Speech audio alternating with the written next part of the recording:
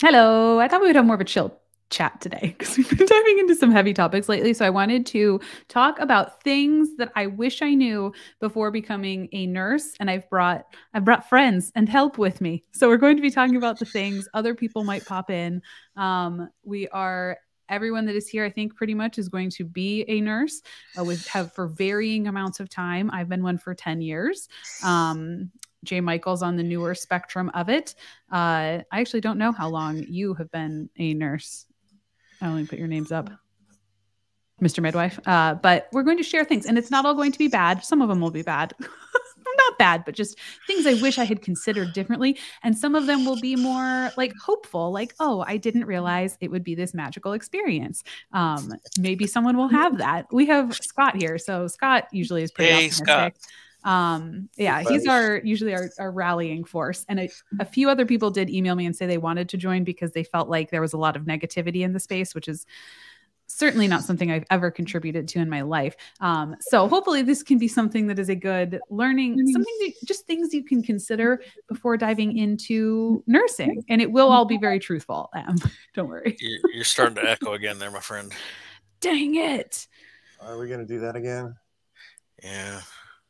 I didn't hear So- this. Anyway, to answer your question, I got I started in nursing back in 1996 as a CNA, and then graduated with my RN in 2003. So it's been a minute. Yeah. All right. Um, let me uh okay. So I'm echoing, so I'm gonna figure out that problem in a moment. Um basically we're just gonna run down the list. Good, bad, we're all gonna throw it together in the chat. If you have things that you wish you would have known before you were nurse, do let us know. This is gonna be much more of a chit chatty chill episode because we've been doing a lot of like heavy dives into things. And I just I just cannot. So I also was playing Pokemon in 1996. So there you go. You know, everything's fine. Um, would either of you like to, any of you like to take over? Also, everyone that's here. Um, oh, good. You're not echoing for me. Perfect. Let me know if I start doing that again, and I will. I don't even know. Try to figure out a different You're good now. Um, I wish um, I knew it was more of a business. I wish I like I went into it thinking that I was going to like go and save the world in terms of nursing and I was very optimistic. It did not even occur to me like the business aspect of it and that that would probably make choices happen that would sort of break my soul. I was like, no, everyone in healthcare wants to help people. We all want to make people feel better and like everyone that goes into this is altruistic and like just loves helping people, which like could not be farther from the truth. I think a lot of people go into it with that intention. However, ultimately, at least in the United States, healthcare is a business and they're going to make choices that make business sense, but not human sense. And I kind of wish I had gone into that with a little bit more understanding of, I think it would have broken me a little bit less, if that makes sense. Um, anyone else? Initial thoughts? And we're just going to go through a bajillion of them. We'll include some from the, from the, I I almost called the chat the academy, which I kind of like. I don't really know why. I was like, we'll include things from the academy, which maybe is how we should refer to the chat from now The on. Academy of Disgruntled Nurses. That's right. Exactly. exactly. Then we can have the little initial after our names, FAD, and the fellow of the Academy of That's Disgruntled right. There you go. That's I think we will call. Okay, chat. You're now the academy. All right. Welcome. I had a feeling these were going to fall into um, our own personal narratives. And so Liz's personal narrative obviously is going in to help people, becoming really frustrated in, in primary care and getting out.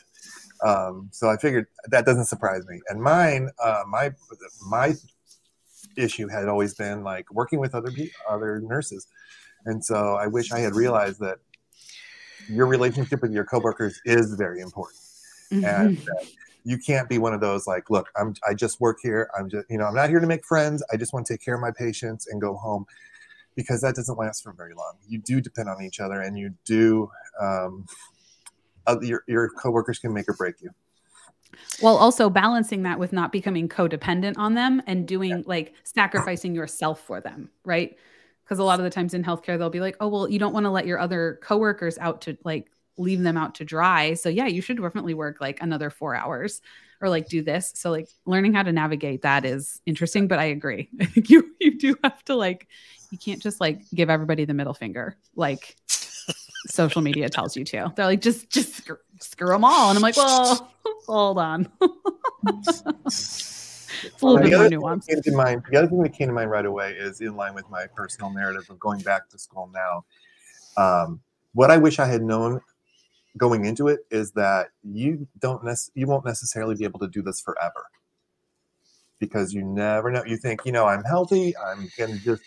I don't want to be in management. I don't want to be a specialist or what. I just I love taking care of my patients in the ER. I'm just going to do this until I retire, you know, 60, 65, 70, something like that. And then life happens and your back gives out and you have to do some kind of a, a redirect. And um, I would have saved money, I think, sooner. I think I would have put more into a retirement fund sooner. But at the time, people told me that. And I said, no, it's my money. I want to spend it, you know, and um, not realizing that the longer you leave it in there, the more it grows.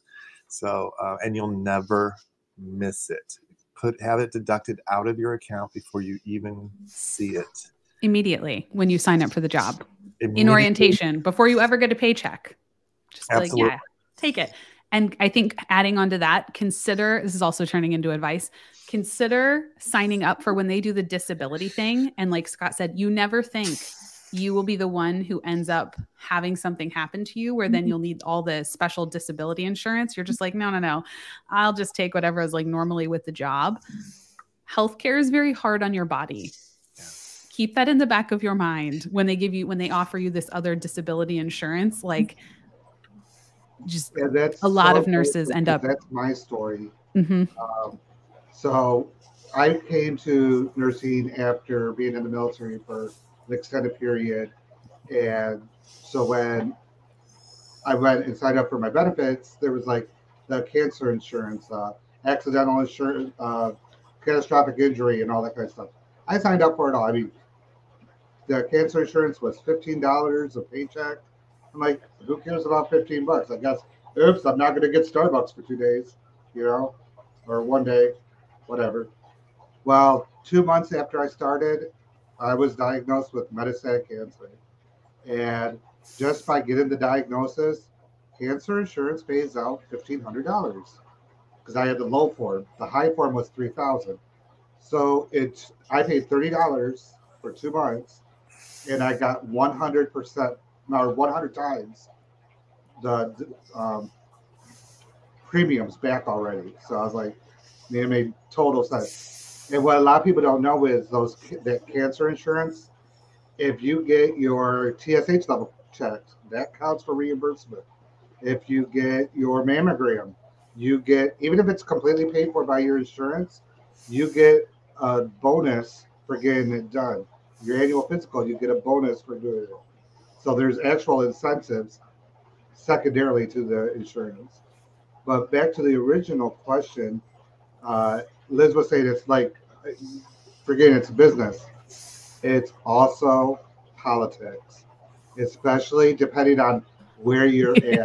at. When, luckily, when I started in the hospital, there was some po- politicking going on, but it wasn't too crazy. I'm a night nurse, so it's even less there. But when I did a short stint as a DON in uh, SNF, uh, skilled nursing facility, it was the most horrendous experience of my life. And it wasn't even on the nursing side, it was on the administrator side. So, yeah, the, the political nature of it can be stifling. And some of, some of my experiences were, I was like Liz. I went into nursing because I was going to save the world. I was going to cure all my patients. Everybody's going to go home happy and healthy.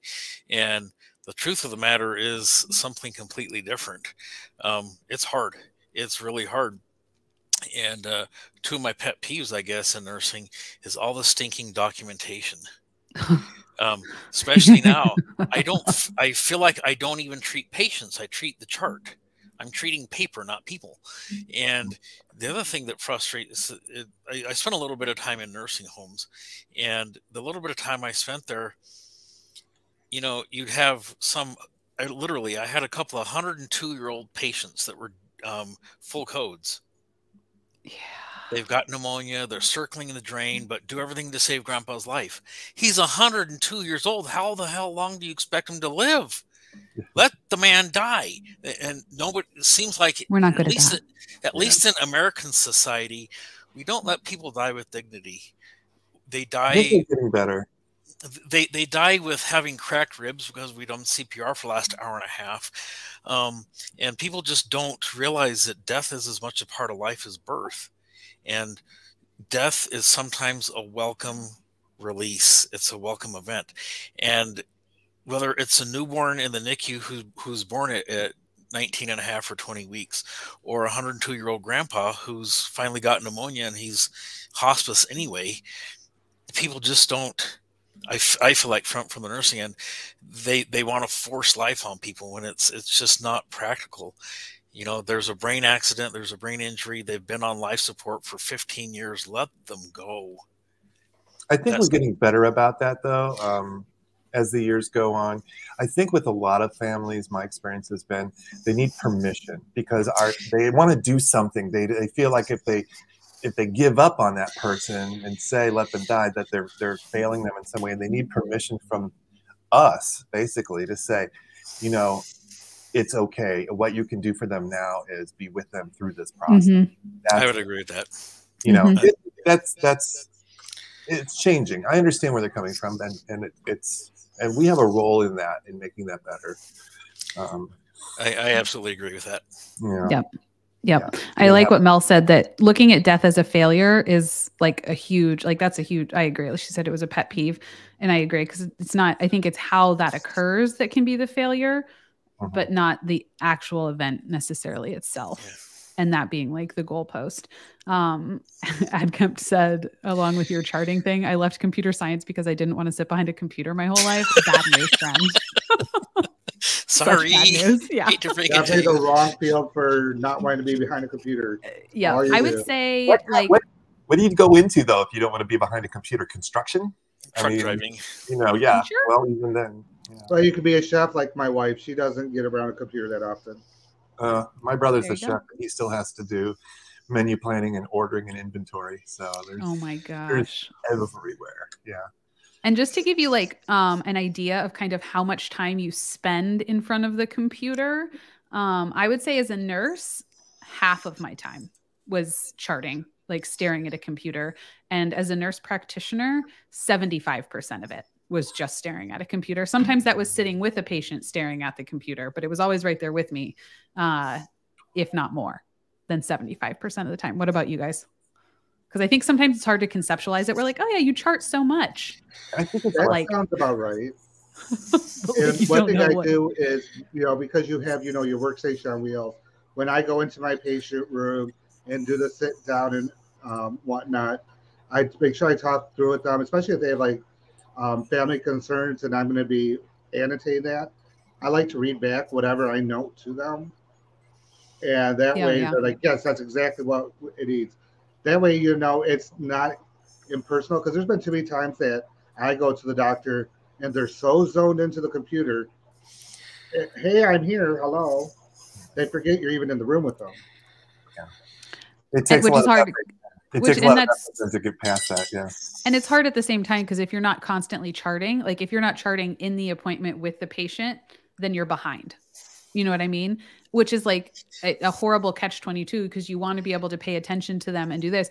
So, like, I found with that, like, the only way to balance that as a primary care person was I would make eye contact for the first, I don't know, minute or whatever, like just looking at them and then literally address it and say, I want to, I wish I could just sit here and talk with you, but I have to keep up with my chart. Otherwise, I will I will never be like this just won't work. So I'm going to be typing while I'm listening, but I am listening even if I'm not looking you in the eyeballs and I would try to look up whenever I could.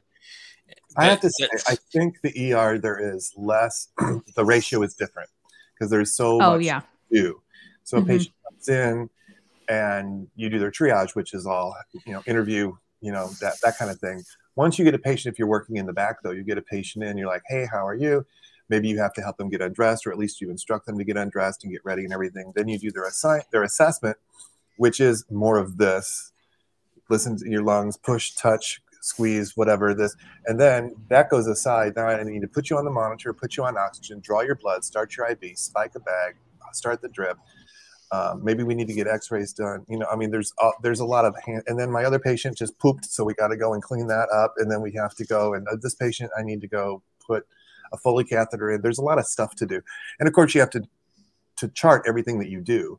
But I mean, that's like click, click, click. I put a Foley catheter in, and yellow urine came out. So uh, if you don't like computers, maybe ER. you like There's- doing stuff. Then maybe the ER or somewhere like that is is more you like. There's a reason why all the memes on the internet are like everywhere else, like your charting is like telling someone's life story, and then the ER is like this note that says like patient. Yeah. Patients Has- breathing. To Has Amanda's question there about the LPNs. Yes. Um, there's, in my experience, I've worked with both LPNs in the skilled nursing facility and in the hospital environment. There's no difference. The big, the only real difference you'll ever see between an LPN and RN is you'll see a lot more of them in skilled nursing and few of them in hospitals, although they're adjusting more to bringing them back into the hospital setting as uh, um, uh, force multiplier. Yeah, man, Yes. exactly. Patient, not dead. Yeah. Patient. Oh, the dead. ER charts, patient not dead. That's ER. Well, true story. Sometimes in labor and delivery, it was such it was one of those nights, and everything was just falling apart. Uh, you know, it felt like the brown stuff hit the fan. It was all over the walls, and they come in for shift change. They say, "Okay, give me a report." I looked. There's a couple times I looked at the other nurse. They all come here and said, "Nobody died." Yep. That's all I can tell you. Nobody died. Yep. That's all the report I can give you. Which is just the different type of, you know, the ER is there to stabilize and send off, and the floor is there to learn your life story and like put all the puzzle pieces Right. together. Yeah. So then when we when we ask the ER for more things like, well, what happened when they weren't like when you weren't trying to make them not die? And they're like, that was not my prerogative. Don't know. Yeah, we've talked about that before. How the floor Yeah. nurses want to know, like head to toe assessments. Like we do focused assessments in the ER. So when you're asking me, patients be admitted for something that's not respiratory related, and they say, "Well, how are their breath sounds?" I'm like, I don't know. I didn't. li- You didn't listen to your patient's breath. I, and I had, I had one guy actually upstairs go, "Okay, well, why don't you call me back after you've done it, and I'll, we can finish report then." I'm like, that was a little condescending. Um, They're talking in full sentences. They're breathing fine. What Exactly. else do you want to know? Well, that's Or the whole see- other category is the whole ER versus the rest of medical because I mean, there's been times when ER sends up a patient with one line of access, getting blood. They also have a stat iron order. I'm like, well, what do you want me to do? Oh, pause the blood. They can get the iron, and then you can get. You can't pause blood. Why don't you put a second IV in? Well, they were an ultrasound stick. Yeah, you have the ultrasound. We don't. If you bring them up to me, I'm going to call you back in two minutes to come up here and an ultrasound in. and you know what? You upstairs, the nurses upstairs know how to start IVs too. So Oh, okay. And- sir. it, it takes it takes less time to start another IV on that patient than it does to call and bitch at me about it. And we very much like to Except poke when they bring up your patient at 7:30, right in the middle of a handoff, because their shifts are 10 to 10 or Well, we know 11, what this and they is. don't care. And we know we what this much one used to do. Oh yeah, that bed is uh, is not ready yet. Making us wait. No, the close um, the door. our job Right? in the ER We is not, that. Our job in the ER is to do as much as we can, and everything. Of course, we need to work together, but it's not to do everything so that we bring them up fully packaged and tied in a bow for you for the nurses upstairs. So, if we can, we can, but you know, and there's certain things that have to be done before they go because there is that time lag, you know, where they're getting settled into the ICU bed, where you know. Um, but I've the gone to the thing to ICU remember a patient. I know I've when gone. go, this is the patient you want, this is the good one. That's the no. But Well, I've actually but- taken patients to the ICU, and they're like, "Oh, well, where's the patient's Foley?" And I'm like, "Um, it's on the shelf, waiting for you to put it in." I mean, you can you can put a Foley catheter is not an emergency procedure in No. most cases, unless you've got urinary retention and BPH is not an emergency procedure, and it's frustrating because uh, maybe this is something I wish I knew too. The whole the different mindsets of the ER nurses versus nurses upstairs that um, and then and then that kind of clash that that happens and we think um, they uh, we think they're stupid and they think we're lazy and we're both wrong but it gets to be like that after a while. You know, you're just like, you don't understand what we go through. We have to know about every single different kind of disease that comes in our door. You guys deal with the same thing over and over again. It's all you know. Your, your knowledge base is like this. And they think we're lazy, like we're sitting down, like we don't want to put in a catheter, we don't want to put in a second line, we don't want to do an assessment on a patient. And I think we should probably spend some time in each other's camp. Um, yeah.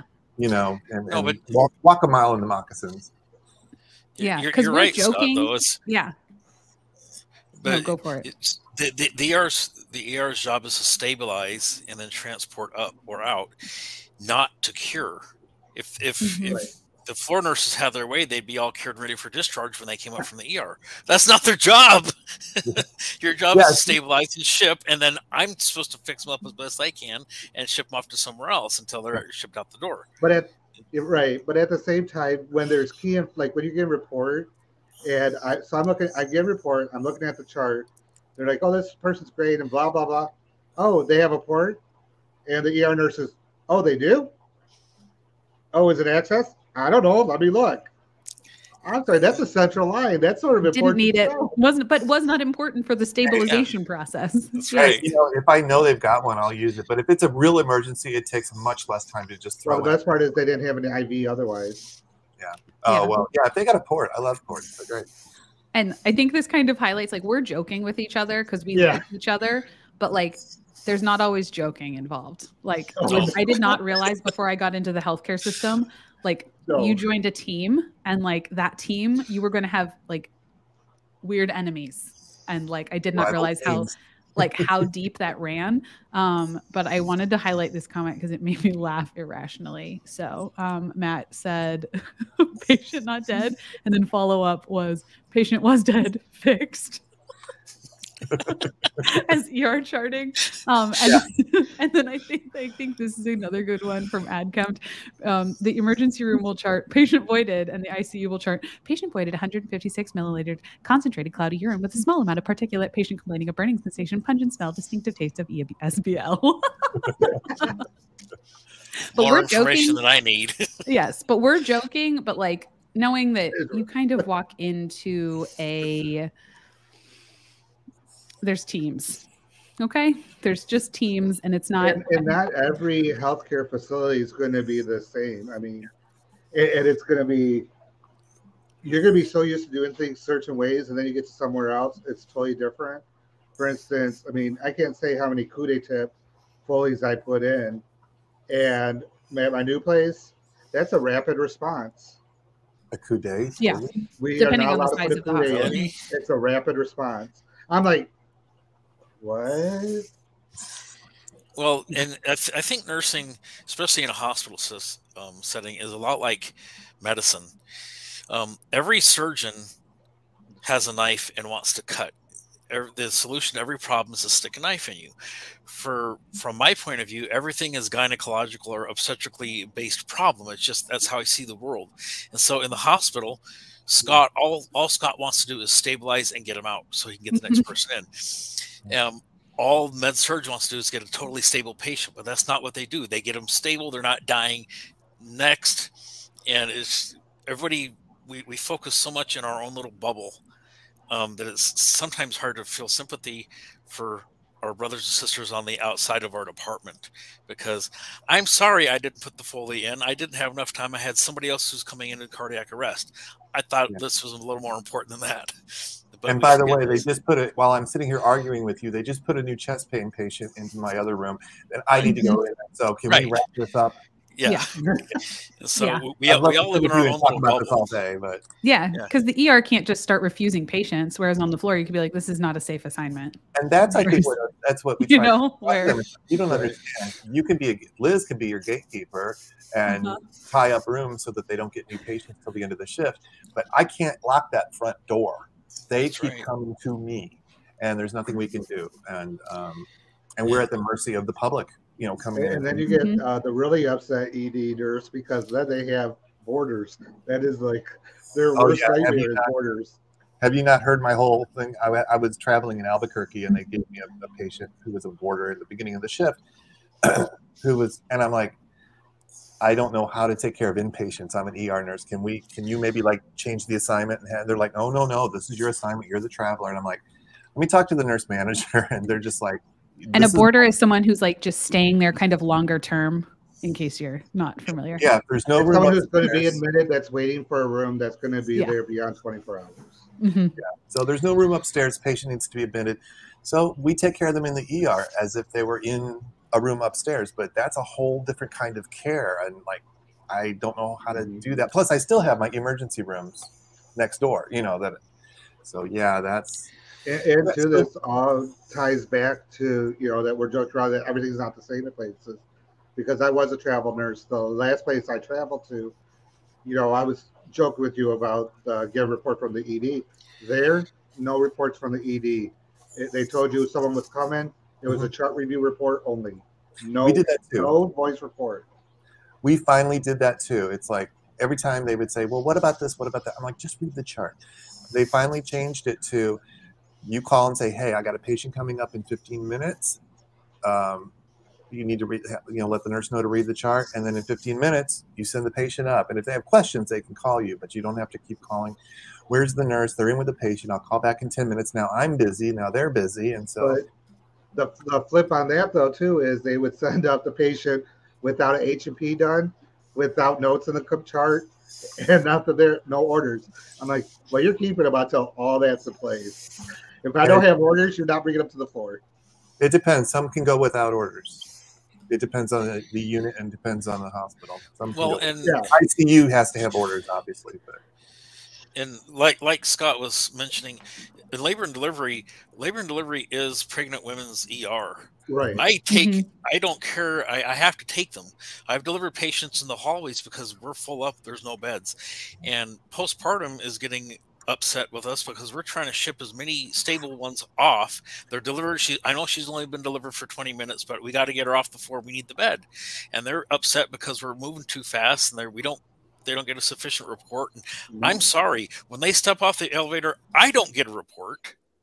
I don't even get a, a history sometimes.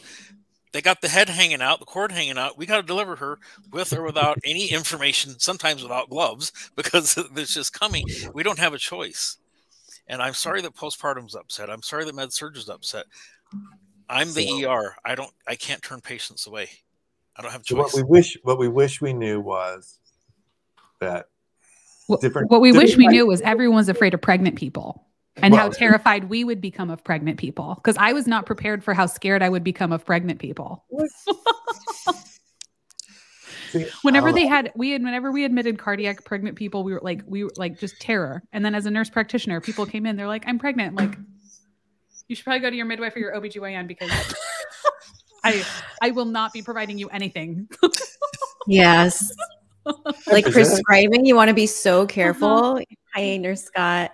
And then in psych, I was terrified of them too because we can't give them any meds. Uh huh. Uh-huh. So, yeah. And then you send them to like the OBGYNs and the midwives and they're like, just give it to them. It's safer than like, and you're like, I, I, what? Mm. Benefits outweigh the risks. exactly.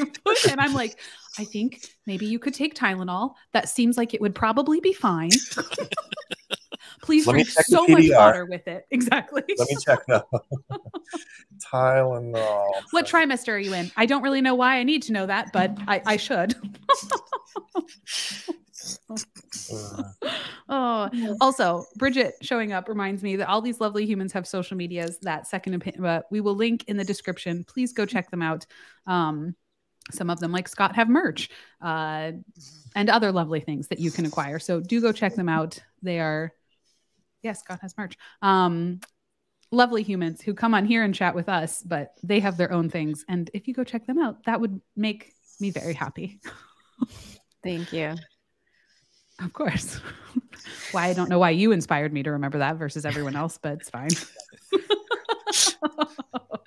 um so because you've probably been uh, doing a lot of coverage on topics that you've been covering lately too, like the NP being charged twenty thousand dollars and stuff. Oh yeah, that and I just talked about that on Twitter or on TikTok, and that's there's so many opinions. It's great oh, for engagement. like, let's just light that match and throw it over there for the weekend. There we go. We'll see how we'll, Well- see how that turns out. But that that brings up another topic of stuff you don't know when you're going into nursing. You don't you don't always look at the fact that there's you know beyond RN there's a nurse practitioner level, and that nurse practitioners sometimes not always but sometimes aren't given the due respect. You know, we're not physicians, we're not doctors, but I know a lot, and there's just there's some headbutting that goes on there. Sometimes. And just so if anyone's watching and gets confused, Chad in his state, nurse midwives are considered nurse practitioners. In other states like mine, they are separate. So that's why he's referring to himself, I believe. Correct me if I'm wrong. I don't mean to speak for you, but I just noticed that. I'm like, wait, you're a midwife, not an NP. well, we're we're, adva- we're advanced practice. and I think so in your state, you're Yeah. both. yeah. Yeah. Well, and that's another thing is people forget that there's more than one APRN because especially in the hospital environment, you will see also the CNS, the clinical nurse specialist, which is an APRN. Which does Uh, anyone know what they do? If they have I've only ever seen them in uh, wound care hyperbarics. I like literally have read the description so many times and had friends in the CNS program and like they couldn't describe what they were doing. They were like, it just seemed like a good thing to apply for. I was like, but what are we doing? Like, and then they can also prescribe, but I'm like, in what setting? Well, Like- they, they they don't prescribe drugs. They prescribe things like diabetic shoes. I don't get it. I'm like, what what is and this? you know that when the budget when the budget gets crunched, they're the first to go. Yeah. They're- Our- I've only ever seen them in wound care yeah. and as surgical first assist. I don't get it. But those exist. Speaking of though, that's what I was going to say is um, one of the other things I wish I'd learned connected to what I'm doing with my life now is that there is no good time. There's no perfect time to get your bachelor's or to get your master's. That if it's something you want to do, just do it, make it work. If it's like, well, maybe after the baby goes to school, or maybe after we get the new house painted, or after the, if it's something you want to do, make some plans, um, and and and do it. Don't um, don't delay because uh, on the other hand, don't try to do it. Don't get your master's a year out of your BSN program. Please don't do that. No, please practice for a few years before you try to get a master's degree. It's gonna, for one thing, it will help you immensely. I'm going through it now. I'm telling you, some of these classes, uh, the reason I'm breezing through is because of life experience. Because I already know this stuff. I've lived it in the hospital. I know what they're talking about. It, to, to try to do that after a year of nursing is I cannot imagine. But if it's something you want to do, don't put it off like I did. And um, I mean, it's never too late. But at the same time, um, go for it. And kind of with that like you don't even know how many things there are other things other out there other than nursing and being a doctor. And i wish i had known that prior to going into nursing because i went into it and i was like well i, I thought i wanted to go be a doctor. And then i realized that's too much money and too much of my life. So my other option is nursing when there's like other jobs friends. Like oh, there's there are other healthcare jobs other than those two silos and that's a huge reason i recommend not going straight to np school even if you think you want to be an np is because you don't even mm-hmm. realize how many other jobs there are that one you might not even have to go to grad school for but like you might want to like totally hop skip and jump and be like actually i want to go and go to i don't know pt school you know like something totally different so there are more than two healthcare jobs shocking i know um Rad and if you're interested in healthcare but you aren't sure if you want to be a nurse there are other options you don't necessarily have to be Rad tech. I'm all about rad tech. Radiation tech. You know, PT assist, OT assist, Yeah. PT, OT, SLP. There's plenty of specialties that are their own separate fields. And the other thing too about nursing school, while we all do basically the same initial education, there's no two road paths in medicine that are the same. yep True. I That's mean, true. I where. I was originally at in Mississippi, I didn't have the chance to over specialize because basically the only specialty there was was pediatrics and um, women's health, and then med surg. Now that I'm in Central Florida, what I really want to do is now open to me, and that's pediatric oncology. Those hyper specialized fields aren't going to be everywhere. So at the same time, don't lock yourself down. Look at your opportunities to move to experience new things. For sure. Brigitte, do you have anything to add to the first round? And then I have a few I want to grab from the comments. And then I actually have a positive one. I know, earth shattering. So I thought I was early because I was logging into StreamYard at 327. I didn't realize you guys started at three. I had to bump it back because my childcare leaves at 4:45 and we kept going like way over. Uh-huh. And then my uh-huh. children were just like ending up at my neighbor's house. which is unacceptable. So we had. To So I'm not sure what's what's been covered or not, but nursing was a culture shock to me. Um, I when I my first love, you know, nurse Liz, how you talk about how like looking back, hindsight, whatever. So my first love, what I actually pursued my passion right out of high school, it was like acting and singing. And then I know completely like different. And then when that I was through like three years living in New York in poverty and struggling and missing my family, I was like, let me go back to school for something. And like I just decided to do nursing and it was a culture shock if you're not like you know how uh, nurse scott said that because he's familiar with the field his classes are easier so my i struggled so much in my associate degree program because it's like learning a new language i had never been around that environment so don't us underestimate nursing school and mm-hmm. um, maybe if you want to review medical terminology ahead of time or mm-hmm. start looking at NCLEX questions, I would definitely recommend that. Yes. And I think Another thing on top of that is don't underestimate the power of just basic Google. Whoever you are, even like before you go into nursing school or even when you are in healthcare, like find resources like the Mayo Clinic, the Cleveland Clinic, um, Healthline is like honestly pretty good. And like it's okay to look things up there and just get a launching point and then go into it. I, I feel like I always had to look for information in fancy places and you don't. I shadowed a nurse at the local hospital when I was considering changing majors, and that was really helpful. It was a little bit strange, but that was a story for another day. Um, but yeah, we didn't have Google back then, so I had to.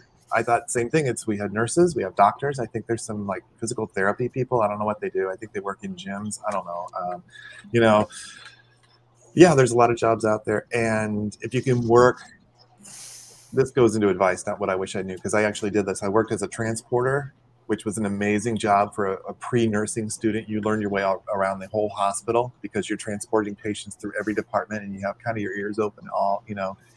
Um, and then as a nurse aide, uh, they called nurse tech, um, while in school. It's really, really helpful. Well, I'm going with what Brigitte said about nursing school being a completely different language. It's also a completely different method of learning because it's no longer yep you, know, we're so used to the teacher teach, we regurgitate, and that's it. There's no memorization and regurgitation. It's memorization and application. this will detour briefly into um, if you're going to be a nursing student, this is how you should study land. Okay. You find a topic, whatever it is, doesn't matter what it is. You figure out what it is. You Google it, you look in your book, whatever you want to do. The second question you ask is, How will this kill me? And you figure out how will this thing kill you. And then the third thing you do is what will that look like? And then you, think okay what will it look like if this is trying to kill this person? And then you think how will i fix that? And you study in that chunk and then you move on to the next chunk. But don't move on from the mm-hmm. topic until you know what it is how it'll kill you what it'll look like and how you will fix it because nursing school wants you to know all of those things and you might as well figure it out now. That way when the question says like this patient is fuchsia like, you know, they just ate like i don't know potassium. Is this what would your intervention be? And you're like i don't know what any of that means. You have a, a framework for like is this normal? And you'd be like oh they're actually that's not good. So. That sounds like um, np school um, for yeah, sure. but maybe a little uh, maybe a little less for i found plenty of regurgitation in nursing school in the basic uh, basic. Our our program was not regurgitation at all for undergrad, and it was just like what she was saying. I was like, I don't need to know this. and it was like, like she said, or the other question I would like to ask myself is, what's going to KIL them a K I L L them first, right? Mm-hmm. So like prioritization, what's going what's going to be their demise first? And like mm-hmm. that will usually be the right answer. uh-huh. Exactly. So much I do remember that. There was like, what is your priority? It was all about priority. Yes. What would be mm-hmm. the first thing you would it's like, well, I you know, all four of these things in the in the multiple choice question I would be worried about. But what's the first one? And it's always airway breathing circulation, A, B, C.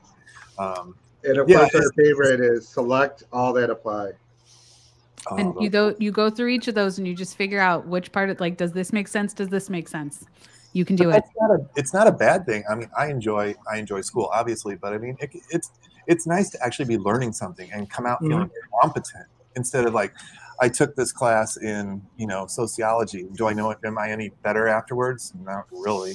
Um, do I remember anything from my history class? Uh, a couple of dates, a couple of events I didn't know happened. You know, but when you come out of a nursing course, you actually have, you're good at something. You can think about. You can speak intelligently about this thing that you just learned, and and I don't know. That's what education's all about. So, not a bad thing. Yeah. just different. but it's very different knowing that that it's and i had a lot of people in my nursing school classes who like were traditionally book smart and they really struggled with the nursing type of questions and then there was me who just struggled which was not shocking because i struggled traditionally and in nursing school that, that was me too. Like I don't I, I don't want to this is going to sound so conceited but like I'd always school had always been so easy to me like I would ace everything government AP um, biology like AAAA right and then in nursing school it was like I was like slapped I don't know that's not my phone Someone's Mr. Mr. Midwife is on call. So Uh. when people are uh, you know, trying to have babies very rudely in the middle of this live stream, how uh, dare they they will call him. Couldn't have just waited another hour. So I am I am in the middle of a live stream, please. So yeah, definitely. I, I wish I had known like how to study differently for nursing school because the first two semesters I wanted to like rip my hair out. Mm-hmm. Mm-hmm. And also knowing too, on the flip side of that, if you're not good in nursing school, that doesn't mean you won't be a good nurse. So I've run into a lot of people who are super discouraged in nursing school, uh, and then get like that has no reflection really at the end of the day. Or even if you get straight A's in nursing school, that n- doesn't mean you're going to be a good nurse either. Like, so Right. stay humble. And, like, exactly. that's one of the first things that um, when I got into nursing school, there was two key things for me that I realized because I did have a medical background. Number one is whatever I thought I knew, I don't know, and I'll only do what they teach me. That was one of the biggest things because you know you learn things one way, but if you don't do it the way that they teach you, you're not going to do good. Number two is C equals RN or B equals RN, whatever at your school. If you don't, Unless that your school's evil out- and they cut you off. Some schools make you get like B's, which is yeah, Right, especially in grad school, like you can't get C's. it's C's. B's often, yeah. Well, that's grad Yeah. school in any But discipline. if you don't necessarily get that 4.0, don't kill yourself because you know, like a lot of us, you know, come from being overachievers in high school and whatnot, and that it's a slap in the face on how difficult nursing school can be, you know. And I know Nurse Scott did a good video just recently on, you know, understanding what you need to pass. Yeah, and that's something I struggle with, especially in pathophysiology right now, which I'm coming to an end. By the way, I got 100 on my last test again, but that's so I'm almost guaranteed. I'm guaranteed to pass now. Now I want my A, so I can say, I, Oh, well, so I can pass with, Overachiever. or I can say I, I went through my NP program with a oh. 4.0. Um, and also something that you should know is there are also people who made it through nursing school by the skin of their Other teeth, and that would be me. and and, you, and some of those nurses who really had a struggle to get Good that job. last couple points can be some of the best nurses you'll ever have too, because they had to put a lot of extra into it. I know I'm struggling with that because I that congratulations, it's that's either awesome. from Liz or from someone else online that said, "Look, here's the advice: don't do anything extra. Do what you have to do to pass, and that's it. Then move to your next class and get through this Yeah. program. Don't do extra hours. Don't make your paper extra pretty. Don't do, you know." All this stuff. My notes, I'm doing that now. My notes are all typed up and pretty for Path. And I'm like, God, I don't have to do that. I'm never going to look at these again and I'm not going to give them to anybody. Why am I doing this? Um, and no one's going to care what grade I got in these classes, except on maybe my first resume for my preceptor. I can tell them, you know, I, I did pass with A's and blah blah blah. But it's a it's a hard habit to break for overachievers. It for, is. for sure. I'm a I'm a fellow overachiever and it's like I can't for the life of me not give my all. Like I will if I ever go to school, I'm just like tied. Like I have no life. That's all I do 24/7. this is the first time I've had to study, really study, instead just like look over the information. hours a day looking over this pathophys stuff. And on the one hand, I enjoy it. On the other hand, it's wearing me out. So I'm really ready for the semester to be over. But um, and and this last exam is on musculoskeletal and integumentary. And I'm like, look, I could probably get by just listening to the lectures and going easy on myself, but but you, you know, won't. But I won't. yeah. I won't. I'll keep going. I'll have nice typed up notes. If, uh, maybe I'll publish someday. I don't know, but. Uh, it's well, hard. I'm very, I am proud of you. That's very impressive. So good job. Absolutely. For real. That's very, I know it was very difficult in the beginning of the semester when things were. It's just about the time you figure out how to play the game, like how to study for this particular topic. Now the semester's over. Well, I kind of, I think, got it a little earlier, but yeah, at some point I'm like, what am I doing wrong? And and maybe this is something too. Um, if you're going to like NP school, now you're not thinking like a nurse anymore. You're thinking like a provider. So your study is different for this. Instead of going, what are the signs and symptoms? What are the presenting problems? What's the most, you know, now it's what's the pathophysiology? What's causing this disease so that you can diagnose it and treat it eventually. Um, and as nursing students for your RN license, you're those are the things you're looking at like what what do i need to assess on this patient? What do i need to monitor? When do i need to call someone? Um, what related things do i need to ask? And it's just it's learning like i said in one of my videos it's learning knowledge and it's learning how to think like a nurse. It's a different way of thinking um and one thing also i wish i knew before i was a nurse well not for me but for other people was if you are very academically bright nursing is going to be very difficult for you at first because you fail before you swim right because if you are not used to like not knowing how to do things for people who are more less meant academically rigorous i'm very used to failing it was like okay, this is very normal. I'm normal. I'm used to being criticized. I'm used to whatever. But I saw it when I precepted people. When you're a new nurse, mm-hmm. you're going to flounder because it's a totally new thing. And this probably goes for most things in mm-hmm. healthcare. So just do not take it as a like you are failing. It's just a very new system that you just have to learn. And I saw the people who did very, very well academically really struggled in the beginning and took it as like a personal failure that they were not immediately swimming and doing well because they had not failed as often as other people had. So just know it's not you failing. You're like diving into a deep end of a shoal, like a pool with sharks. Uh, and that's not normal to know what how to do that initially. Yeah. So if you like, I personally struggle with like overachieving perfectionism. So those are not good traits to have, right? I like, I recognize that and I'm working on that. Um, Nurse Scott, you know, he's kind of, so like to a degree, like we will be more, like we maybe will accomplish more, but at, at like the expense of our mental health. So be kind to yourself. I had a mm-hmm. another uh, perfectionist slash overachiever in my class, and she dropped out because she got a C on like her first test and I was just like, like, girl, give it time. Like, like we, we just mm-hmm. got it's hard. Like, yeah. Yeah. it's hard to not have that black and white thinking if you think like that, that where you're like, oh, well. Because you can always recover from it, you know. I mean, because that's the thing. Um, and I think Scott said something similar to that on that video. It doesn't matter what letter you get, it's truly raw points, you know. So yeah. you have this, it's you have a set number of what you can lose in points throughout the entire semester before you're no longer passing. So just because you gave up a few extra on this one, just make sure you don't give up as many on the next one. Somebody actually watched my video and paid attention. I can't believe it. Yeah, that's exactly right. I lost like all those points on that test. I'm like, on that test, I got a 74%. That's insane for me.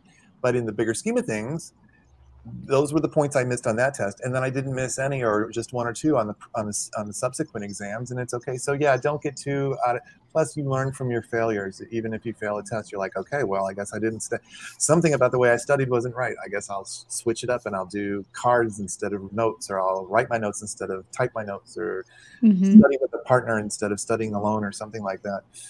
Um, you do. Well, it's just like you know, apply the um, nursing model to it you need to assess why you got the score you got, figure out mm-hmm. where you did right, where you did bad, what interventions you need to do, and reevaluate yourself every time.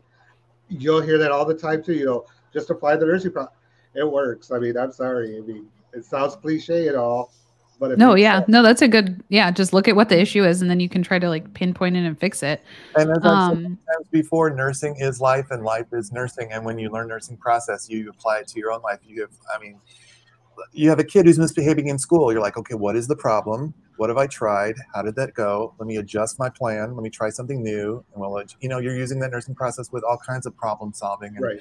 in your life, whether it's finances or raising a kid or, you know, at work. It's um, the good life skills that you learn a lot of times. But hey, somebody did say um, I wasn't. Um, what was it? Oh, I didn't realize how much of my work I would take home with me. And I was that, just about to go back and highlight yeah. her. Where was it? I think it That's was. Was it Michaela that said that? That's yes. a core skill. Mm-hmm. Work at work is a core skill. And if you have it, like Scott has it, that's yeah. good. And then if you don't have it, like me, then you quit after 10 years. And that is the thing that is hard. your soul. You, you, do need that skill to be able mm-hmm. to compartmentalize. Otherwise, it is going to be rough on you. I mean, especially when, you know, you do have, you know, patients who pass and stuff. Some can take it really difficult. Me, once I leave work, it's done. Bye. I, I'm home now. And how do you do that? Like you and Scott, do you just think like if it's not in front of me and fixable, then I don't need to like I can't fix what's like I cannot fix everything. I can't do anything about this right now. So like we'll just like maybe it's easier in the ER because it's episodic. I don't see the same patients mm. day after day. I'm not I'm never gonna see these people again. And I've handed my last patients of the day, I've handed off to someone else. It's their problem now. All right, I got I'm gonna get McDonald's on the way home. Mm-hmm. I mean, you know, just I don't I think it's habit. I think a lot of a lot of positive thinking, self-esteem, compartmentalization. I think it's just to have you force yourself to do it enough uh, that it becomes easier over time. That's interesting because I had almost on my list of like the opposite of this was exactly what Michaela said. I wish I knew how much I would take home with me, and like to this day, that I would think about people who I took care of a decade ago, like, mm-hmm. and think about them, especially like the difficult situations. Like I did not expect to have that much like all of a sudden like randomly pop up later and be mm-hmm. like not processing it well and like have it really affect you especially when you took care of them for a long time uh like if they were on the floor for a long time or it was a particularly like really sad situation i do internalize a lot more of that and i was not prepared for like how emotionally damaged i would become as a human oh. at all i know for me like there's a few where I made deep connections with the patient through like uh, where I learned something myself through it, like um, when the importance of patient education with you know this one patient group I had, or where you know the connection I made with this one gentleman when his wife passed.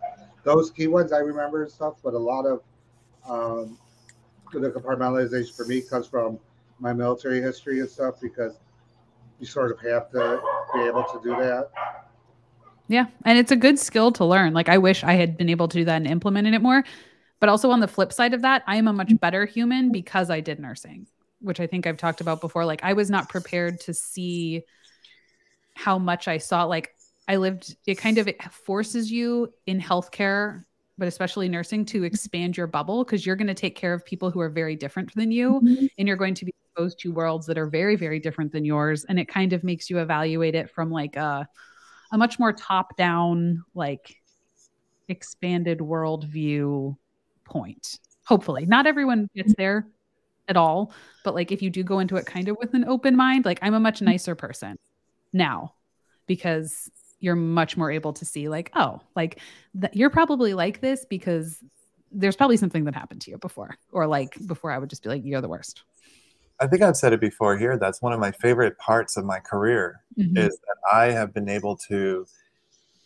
I've, I've been allowed into the lives of these people who are so vastly different from me. And if I worked mm-hmm. retail, I would never have that opportunity, you know. And I've worked around the country, so you know, I've I've been able to interact with people who are different color, different sexual orientation, different nationalities, spoke different languages, different abilities um, you know, that gang member that I took care of, and then they waved at me on the street.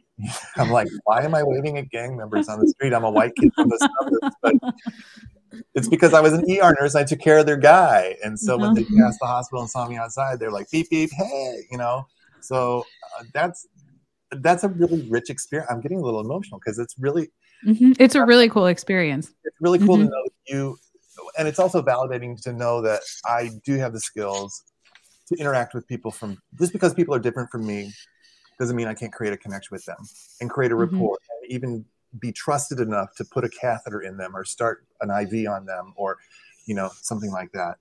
Mhm. Uh, Well, and you know what? you, you won't experience you won't understand what i'm talking about until you've actually done it but trust me there that's what i wish i'd known is the really rich experience that would come from all the different experiences that happened as a nurse I um, sometimes so sometimes one of those really rich experiences come from uh, you you just lived through a situation like for example in in the ER Scott there's just things are going south and going south in a hurry and you're you're jumping on their chest you're doing compressions you're starting the IV you're hanging the meds and half an hour later when it's all over you stand back and you say oh my god I just saved this guy's life Mhm. I did that. And it, it's humbling as hell. You're like, I cannot believe that because of what I just did or did not do in the last half hour, I just saved this person's life. i will say i've always looked at it as we saved this person's life you know like wow you're an er nurse you ever saved anybody's life it's like not the kind of time. not like it, you know i wear a red cape and you know i swoop in and because of me they live i've been part of teams that yeah absolutely did save people's lives and that's that's a good feeling It does make you feel very accomplished. Like you ask other people, you're like, "What'd you do today?" They're like, "I organized a spreadsheet," and you're like, "That's cute."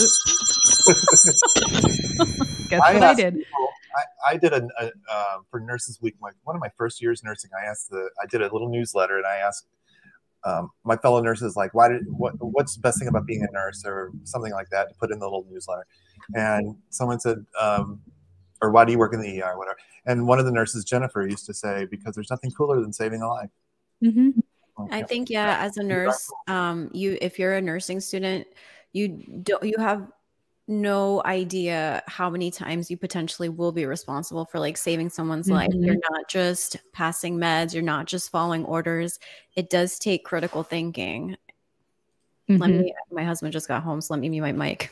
Yeah, no, you're fine. And I think along that lines, like really think about it. Like I don't know if I fully grasped when I initially was like, I'm gonna go be a nurse, that like I'm gonna be in charge of people's lives and like like thinking about that, but really like embracing that. Like that's a lot of stress also. It's very, very cool when it goes well, but it's not it's very difficult when it doesn't. Um, and Kim was saying something about um, like hard things are when patients pass away or things when don't go well. Uh, and you kind of can beat yourself up about it, even though many of the times it was absolutely nothing you could have done. But just like realizing that your job is not going to be one you clock in and clock out of without like just going like you're doing something during the day that is very meaningful, but that comes with like a much bigger weight You're than exhausted. That's another thing, uh, talking about, you know, not realizing that you're gonna be the one saving the person's life. The nurse oftentimes is the one, it's the extra set of eyes that will catch the things or ask the question that the doctor may not have thought of right away because, you know, they see a small bowel obstruction the same way, same time, every time. But the nurse catches, wait, they're really uh, thrombocyte, uh, have thrombocytopenia or something. There's something else really bad going on. Can we do this? And oftentimes that little extra is what turns the tide for that patient. And oftentimes it's the nurse who's just like, wait, this doesn't make sense. Let me ask about, you know, can we throw this test on? And, and mm-hmm. oftentimes that's why don't be afraid to ask your doctors, hey, I, I noticed this is going on. Can we go ahead and do XYZ? Oftentimes they'll say yes. You'll learn so much because you'll say, hey, you know, usually on this type of patient, you order a lipase, but you didn't order a lipase this time. Did you overlook it? Or, I mean, you do it, you don't say, Oh, yeah. hey, you forgot the lipase. You say, you know, usually on this, you, you- that's something I see a lot. And they'll either say, yeah, good call, I forgot that. Or they'll say, well, in this case, we're not going to do it because you just had one done yesterday, or because this type of patient, that's not important. You'll learn, you know, Mhm. as you go along from your interactions with with um, with providers. Uh, I just and I was not prepared. We most of the time we won't get our normal breaks, like we won't get lunch. Yeah. Um, just because for me we don't have breakers. We've talked about this in like in California, they Mhm. have breakers. We don't get a breaker, and this this happened early on in my nursing career. I had a, I was about to go on break, and a patient called me. He's like, hey, I don't feel right. Can you just, I'm kind of cold. Can you come and bring me an extra blanket? And I was debating, like, do I, do I have my like friend go and I go on break? Let me just go. Mm-hmm. Right. Again, the overachiever in me always like want to watch my patient while I go in and this is a he's walkie talkie usually. He just looked off and and that's where you know listening to your gut. And i said you know what? The doctor had just changed his um regimen his insulin regimen. I was like let me check your blood sugar. I check his blood sugar. It was 30 immediately we had to rapid response. I'm surprised he wasn't in 30's bad. yeah i'm surprised Under 60, not ideal. like I'm surprised he was even awake.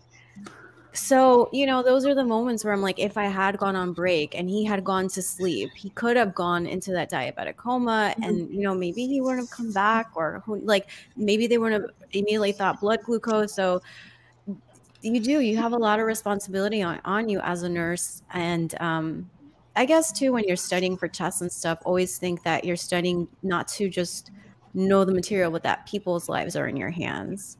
And so, Brigitte, sometimes those are the quiet times when Mhm. it's not, it's not spectacular. You're not jumping on their chest. You save their life. Mhm. Yeah, and nobody Save thanks their you, life. right? It's a it's a Quiet very one. thankless job. Like people, like no one, no one that day congratulated me. Like nobody Nope. said it. Mhm. You, Yeah. know, you have to be like intrinsically like get a, a intrinsic self of like, wow, that was rewarding because you saved a life, even if you don't get external appreciation. And it for, for becomes me, routine. was You know, if someone had said, uh, and probably if we say to you now, Brigitte, you you saved that guy's life, I'm pretty sure your your response would be, well, I just checked his sugar. I just I do what Right. nurses Mhm. do. You don't really Right. think of it as some heroic act. You're like, this is what we do. Um, But I, I always took those situations and I, I took a moment to pause and reflect. I always saw that with great humility. Mhm. My God, I just did that. I, me, I did it. Oh, I- that's I why we're just- here.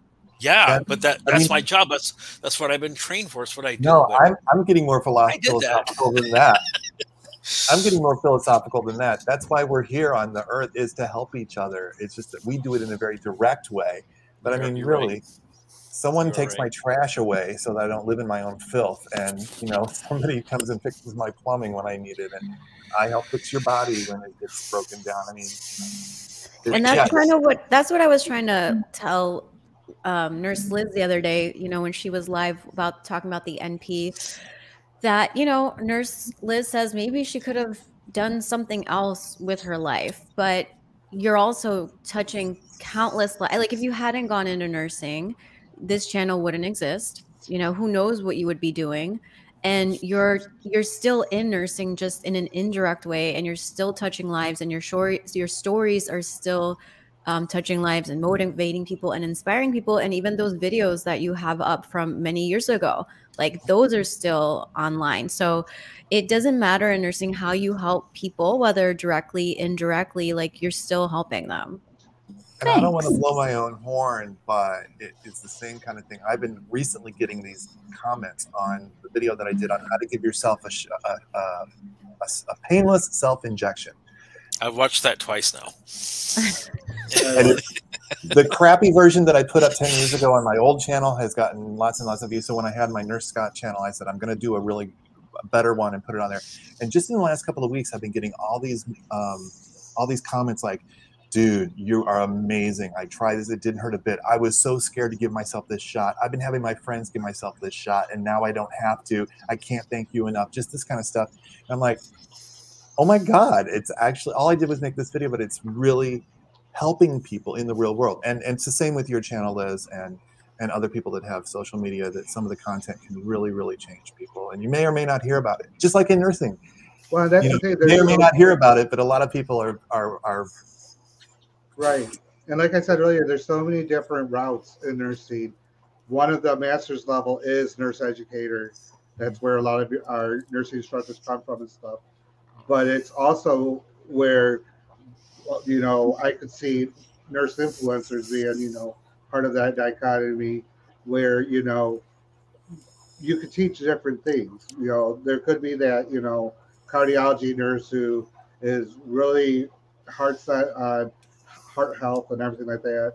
you know, nurse midwife about, you know, the OB um, aspect of uh, nursing.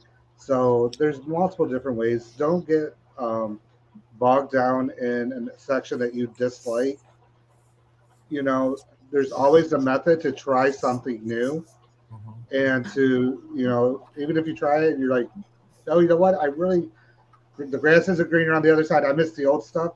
Maybe go back and do the old stuff, you know? Yeah. There's Yeah.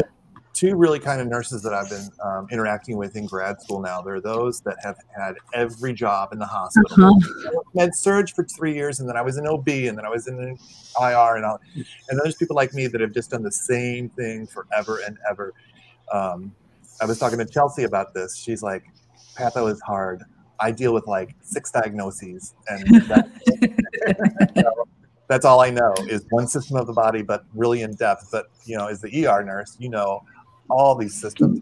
I only know them to a certain depth, you know. So we all have, we all bring our own talents and our own experiences Yeah. to, to advanced study, and we all bring our own personalities and our own strengths personally to nursing. So some people are very much people, people, people, and some people are very like in your head knowledge people. And I've always said I think I may have a toe on the autism spectrum because I sometimes don't know when to shut up, and I don't always understand sarcasm. I don't get hints, uh, and but one of the uh, one of the other personality traits is I like rules and I like the rules to be followed and when they're not you know I have a very and perfectionism and attention to detail and you know what if someone is your nurse like with their life with your life in their hands don't you want them to be a little bit of a perfectionist Yeah. The quality to have in your nurse you know. So on the one hand I don't always get along with my coworkers um, and I don't really know how to express that you know to, but I will absolutely do everything for you. You will never be in better hands than you know than in someone who's that perfectionistic and we are. And so, and that's, and if you're not that person, you bring other things like your ability to comfort patients and your ability to pick up on subtle things and be, you know, um, the emotional support for that patient. And you might have to really pay, struggle to pay attention to details. And when it comes to some of the other stuff, we all bring different gifts to the mm-hmm. job. You guys hit just just hit two of the last ones that I had on my list. One was that you don't have to be a certain type of human to be in nursing because I feel like the stereotypical like I love people and I'm good at talking to them and like blah blah blah blah like I'm a bubbly little fountain of joy. Like there are very many different areas of nursing and you can go work in the OR and everyone will be unconscious and you can just do your thing. Um like there's a lot of different places and you will have your own thing that is good at your own little spot. And two, I didn't realize how normal job hopping was. And I wish I had to know that you could just go in and it's like not weird in healthcare to be those nurses who are like, I worked in med surg for three years and then I went and worked in pre op. I hated that. Immediately went to the NICU. They were too small. So I jumped over to an ambulatory clinic where all I did was infusions. That was boring. And then, like, you're, and they're like, and it's been four years. Um, and you're like, in four years, like, very normal. So, very, very normal and very fine to be able to do all of that. Um, but yes, good job, team. You hit my points. Um, someone said they didn't know expect. They wish they knew about the bullying. Yeah, Mhm. My preceptor, my preceptor bullied me on when I was doing med surg, and then ironically, she wanted me to precept her because she. uh, So I had got my master's in nursing education, and I guess she went back to school after me, and she emails me. She's like, "Hey, will you precept me?" I didn't respond. I was like, you were Kiss so mean to me. Like you really. yeah. Well, good for you for not. Sure, come on. to, you know, get payback. Yeah, there is Uh, there is bullying, and I wish I could tell you how to magically fix it, but I tell you, some of the worst bullying I ever experienced was on every time I would go in and be, I would switch jobs or change to hospitals. I went traveling for a while, and every time I was the new kid on the block on labor and delivery. A, I was the new kid. B, I was a guy. There's no way a guy could possibly know how to deliver a baby and have the compassion and yada yada yada. Why are you being so mean to me? I've been doing this for 15 years. You think I've gotten away with this for 15 years because I don't know what I'm doing? Or I don't know how to be compassionate with people? But it was oh, it was unreal the bullying sometimes from the other the other women on the unit for lack of a better term. Which and then of course most of your OB-GYN physicians are male. Yeah, do the Yeah, it doesn't make math on that one. you get that from just taking new jobs or being a traveler. You got that a lot. You start in a new place and they don't know you. They don't know what you're capable of. Sometimes they talk to you like you're stupid. No, I, I do know what I'm doing. Right. Yeah, I got you. Um, but when you're new, maybe that's something you need to prepare for too. Is you know they're like, oh, you're just a pup, and you're like, I'm 26 years old. And at the time, that seems like old enough not to be treated like a pup anymore. I've been driving for 10 years. You know, I have three wrinkles. I've Excuse you. my first gray hair. Come on. Yeah. And it takes a while, but it, especially if you look young, it's going to be like, you know, are you old enough to be a nurse? Are you going to be a doctor someday? Or Uh-huh. you know, they, you know, you're just a pup. What do you know? And eventually, it does get better. just like we say, it gets better. And that's why I say 30 is a great age because you're old enough that people start to take you seriously now. And you're still young enough to have all the energy to do stuff, but the wisdom not to do it the night before work. And what do we say to people who say, Are you even old enough to be a nurse? We say, Oh, I'm not a nurse. And you continue doing your job. Give me your arm. That's how we deal with that. Nurse um, Nice Purse said, ahead of time, learn to not take things personally, which I think goes well off of what Scott just said. Everyone is busy and patients are going through hardships. Don't take it personally.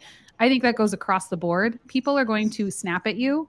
Mhm. Uh, kind of going back to like what, like we said at the beginning, like you are in a weird situation with your coworkers where they're also close to you in a way that's like odd and sometimes people act much closer than you actually are and you snap at people because stress situations are stressful. Your patients don't even know you and they will sometimes be really really mean to you um, and that says a lot about them and the situation that they're in and not about you. So like please do not take offense to a lot of these people who don't even like it's not a reflection of you. They don't think you're a bad nurse. They've never even met you. You walked in their room and they were like i don't want like it's them. It's not you also gw 2021 thanks for the super chat i appreciate you so it sounds like this is obvious but when we're seeing newer nurses come in and that are shocked they have to work weekends and holidays and rotations yes um when in school when Yeah, someone people don't says you will work automatically get better because it's Christmas. Yes. And when you're in school and they're like, you'll work nights, weekends, and holidays, and you're like, oh, yeah, I'm going to work nights, weekends, and holidays, it is very different to then work nights, weekends, and holidays. When you're like, I Yes. work nights and weekends and holidays. well, the other thing that the biggest shock for me, and it's on this uh, strain, is that if your census is low, you will be put on standby, which means you don't have a choice. You have to burn your pay time off. I had never experienced that before I became a nurse. I was like, Mhm. "What do you mean you're sending Yeah. me home? What do you mean and I have to use use my vacation time. like, But then again, when I started my first nursing job, I was so naive that they're like, yeah, you get uh, so many weeks vacation, your paid vacation. I'm like, wait, paid vacation? Not just, I thought it was just time you were able to be away from work and it's not an absence. I didn't know they paid you while you were on vacation. That's amazing. So I was a little naive at the time. And and also pay attention to that? what your base rate is, because if you are one of those that do nights and weekends where there's differentials, your pay time off does not include differentials. No, it that's does not. right. That's right. And like I mean, and it can be a big deal. Like Mhm. my first place, it was three dollars on nights, and then if you were weekend contract, it was five dollars. But then where I'm at now, it's five at night, eight on weekends. I mean, it could be a significant part of your check. My my first nursing job, it, the the differential was insane. It was like fifteen dollars shift Whoa. differential. Yeah, fifteen What? bucks. You're like, I can't afford to take a day off. I literally can't because, like like J Michael said, you take the day off, it goes back to your base rate, not plus your fifteen. You're like, Right. God, I can't afford it. I got to keep working. I hadn't thought of that. I got a quarter. Oh no, that's the best part. So you get these nice shift differentials for nights and weekends until they con you into being charge nurse. That's only fifty cents. I didn't get anything to be a charge nurse. I was never a charge nurse well, the, the funny thing is, all those now, years. they don't- How did you it's manage like- that? I'm used to like whoever the senior is is the charge. Here they have each unit has like five assistant nurse managers, and they dual as charge.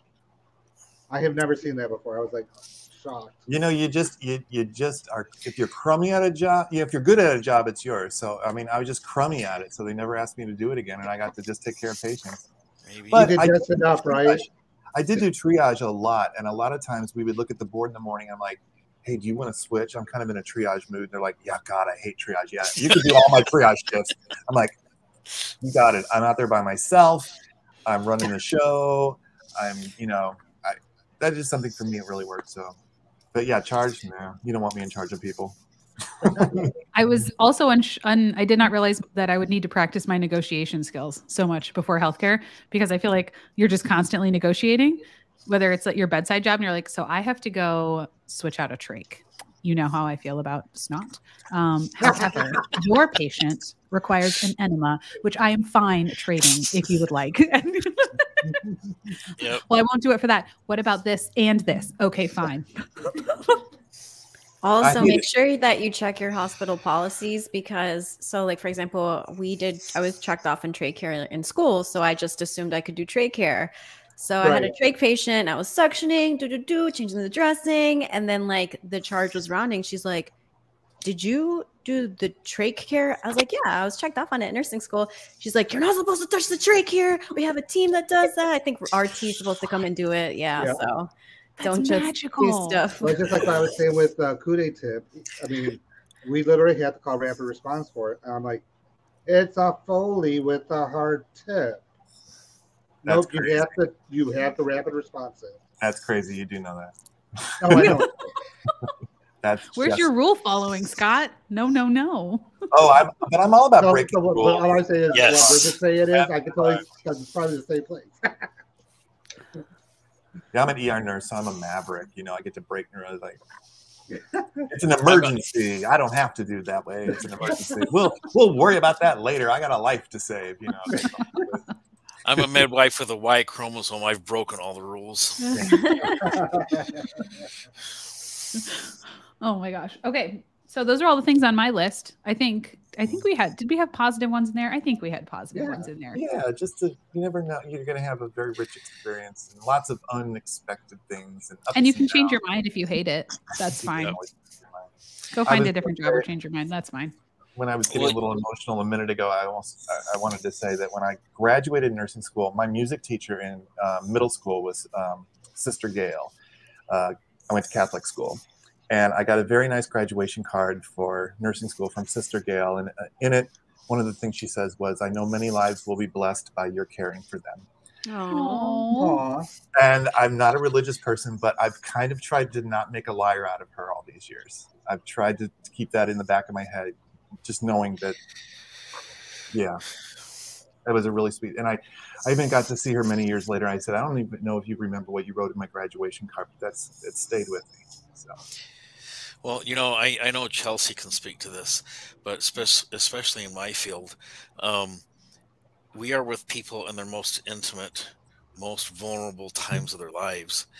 And when True. we pull the shoulders through and we clamp the cord and hand the scissors to dad and he gets to cut that cord and it's a bouncing baby screaming little girl and who's just pissed off because she's finally outside and there's mom sitting there crying and dad sitting there crying and i'm sitting there crying because it's just a beautiful moment but you're also at the worst times um, just a, a two weeks ago um, i went in saw a patient in the office 38 weeks and as i'm listening for heart tones oh.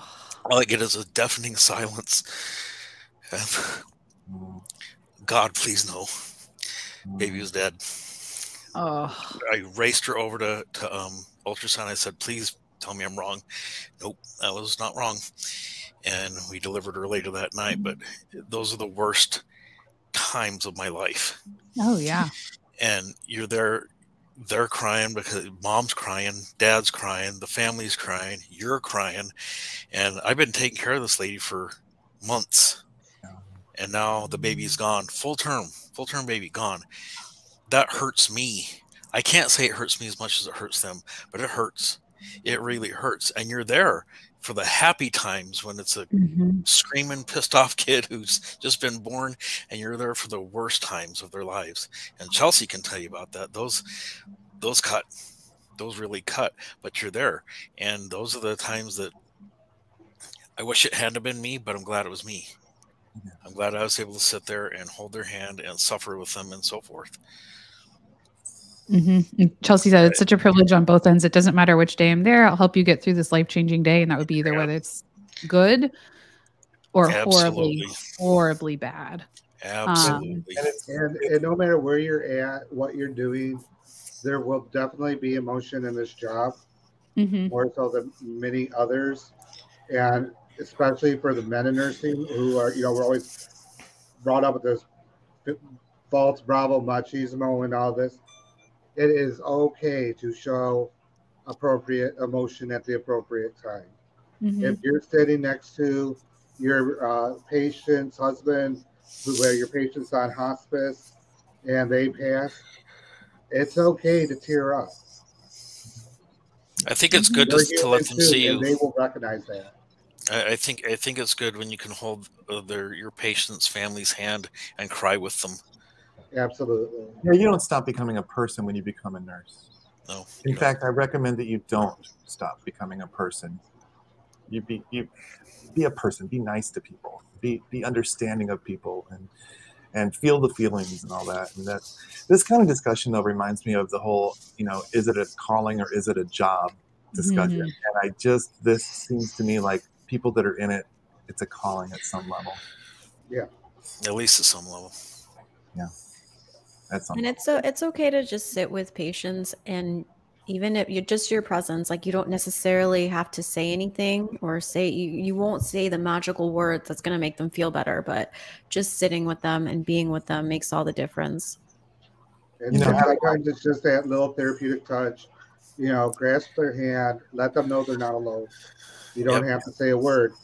And I mean, you'll end up if you sometimes you'll just see that smile on their face where they they know. and having gone through my dad dying, I understood even more. And having been a patient, you know, just having my appendix out and having someone come by and go, I noticed you didn't have any visitors. Do you want some company? I'm like, that was so nice. Aw. Thank you. No, I, I'm okay. You know, just that little little thing. And when my dad died, there was nothing wrong you could say. You know, as you know, everyone kind of tiptoes around grieving families, and there's unless you can say, you know, he deserved it. You know, I mean, that there's something, there's some things that are really wrong to say, but mostly anything you say, like I'm sorry, or you know, can I get you something, or just you're not going to say anything that pisses them off. I mean, because you're so in your grief in that moment. Um, don't let that intimidate you. But sometimes it's not till you have your own experience in life that you understand how to to deal with patients. That actually reminded me something I thought of a minute ago. I wish I had realized how important it is to learn therapeutic communication because I didn't really get Mhm. into that until I studied psychology and worked in kind of a different field for a while. But all those techniques that you can use from reflection to empathy to minimal encouragers to summarization to all those are so helpful in healthcare, especially when you're doing like a like a, an interview, like a triage interview. You're trying to get information out. Um, that's something I would teach myself if I were a nursing student again. I think I would do that during the summer or something like that. And like J Michael said, some, sometimes the best therapeutic communication is just touch. Mhm. It doesn't have to be heavy touch, doesn't have to be any kind of touch, it just touch. Just Yep. hand on the shoulder. Yeah. Yeah. Yep. Also, Chad, thanks for sharing that with us. I know that's a wildly difficult situation, um, but I think it just very much touches on the impact that you can have on people. Like in those hor- like they are very lucky. I think that they had you.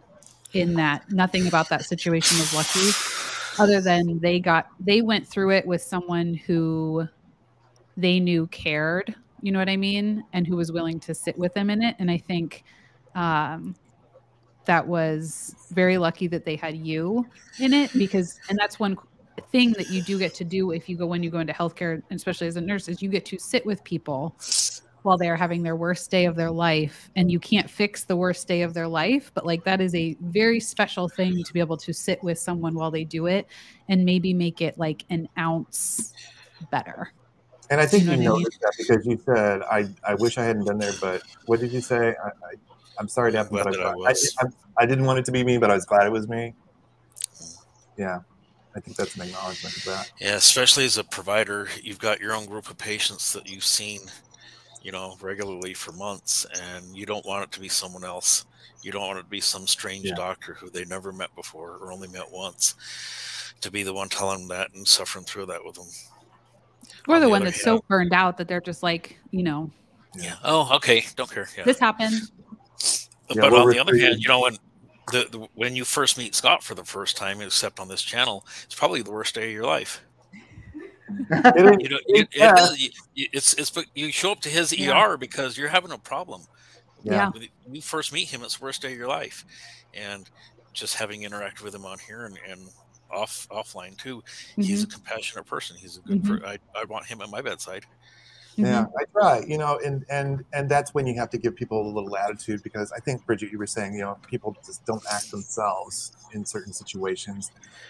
I, I Mhm. started to write a book about that like 20 years ago, and that just, you know, the emergency mind, how people's psychology changes in this crisis situation, and um, you just have to give them credit. And what you learn actually is a lot of them they'll yell at you, "Oh, this guy was such a," he, he's like, he, um, I bleed to myself. Uh, I saw he that. was, he was he was such a beep. Um, he's like, take care of my boy. He had his son in there. I needed to draw blood. I'm like, okay. I said, well, just what I need to do is get some. He goes, no, don't talk to me. Just take care of him. I was like, "Oh, I, I am. I'm not wasting any time. I just want to let you know what we're up. It, no, don't talk. Take care. And I was like, dude, really? So I went and I'm like, hi, daddy's a little upset, isn't he? Okay, we're gonna get a little blood from. I don't think I said that, but I'm just like, okay, we're, you know, I did what I was gonna do, and as predicted, because I had been a nurse for a day or so, he came out later and said, "I'm really sorry. I, I talked to you that way. I was really upset. I'm worried, and I'm and it wasn't right." And I'm like, "You're right. It wasn't." um, and a lot of people they they do later on come back and they go, I, "I'm sorry about the way I acted." So they do sometimes realize it. Not always. The psych patients don't because they're not thinking clearly in the world right now. But a lot of other people do. Mhm. And it doesn't take a lot to like change people's total day. Like, not obviously if they're having like the worst day of their entire life, but when we would admit like tiny little babies that were just born and they had congenital heart disease and you knew it. And so they came out, they immediately had surgery, they come out to you and they have this tiny six pound baby is filled with tubes and lines and airways. Literally, sometimes you could like totally change a parent's day by teaching them how to do one thing like, hey, can you help me just make like, can you just rub their head like right here? See how like this does? And like just look at it and be like, look at how cute their toes are. Like, do you see how stinking cute this baby's feet are? And like giving them something and like looking around and being like da da da and like talking about like little things like, and I'd kill for those eyelash, like just tiny things of like getting to know, like commenting on little stuff like that can like just totally make someone's day a million times better and giving them the power back in a situation where like that was like nothing. I just told you your baby's feet were cute, which is true because baby feet are so cute. You know what I mean? Like, you know what I mean? But They don't teach gave you that them in a little nursing bit more school. Where did, where, did you, where did you learn that, Liz? Because they don't teach you that in nursing school. I don't know. I was a mom, so I I know I liked my baby's feet, so I figured other people wanted their baby's feet to be complimented. It worked very well. And you were just a person and a nurse, a nurse and a person at the same time. And I think touch too. I wish I knew earlier to just like, if as long as they're fine with it, you know. Sometimes I I tended to ask. I was like, "Can I just sit here with you?" And like, you know, give and you a I hug think or that's a good idea because not Mhm. everybody either wants you there or not everybody wants to be touched, especially if you're a male touching a female. I think that's an excellent idea to ask. Mhm. May I come for you, touch you, anything? Yeah. Or Mhm. if you have a toe on the spectrum, I really, you know, you got to ask me Mhm. first. So like Mhm. coworkers that would come up and they're like rubbing your shoulders. It's like, how's it going? It's just like oh no, that's very don't touch me. Yeah. that's Yeah. that's extremely intimate to me, and I just work with you, and now I need a cigarette, and you know,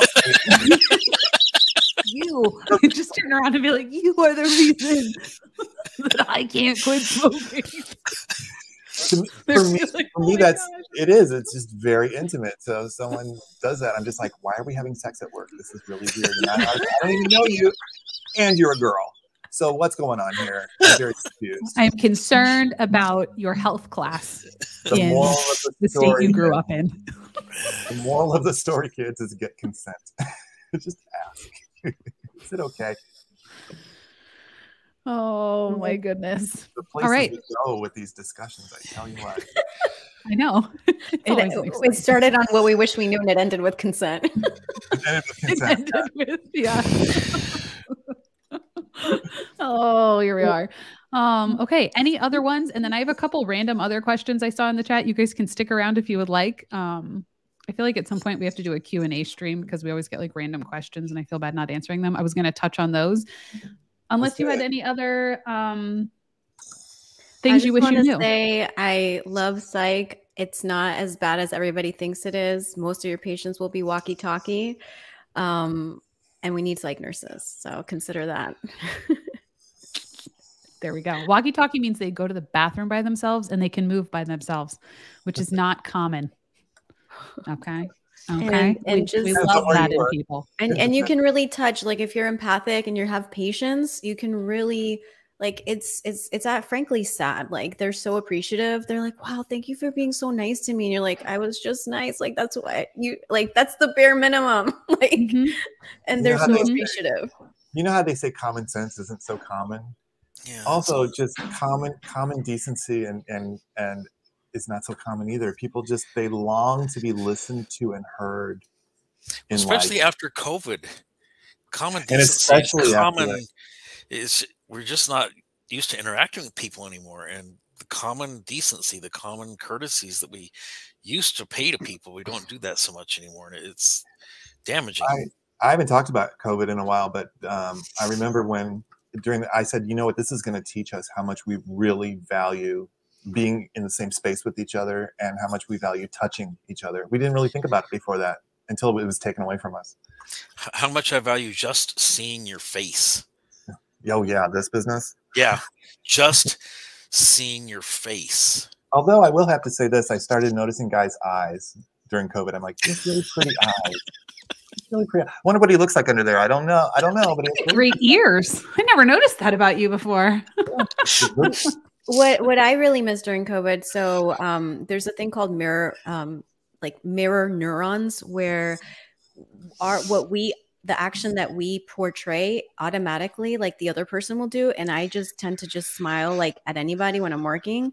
So i noticed that with a mask on like no one was smiling well you can see when people are smiling and like i would try to smile but like i could they were people were just like a lot more serious a lot not as nice not as friendly and i really think that the ability of not being able to see the someone's mouth and smile like it just made everything more distant Yeah, we would have to either put it in your voice that you're smiling and say something smiley.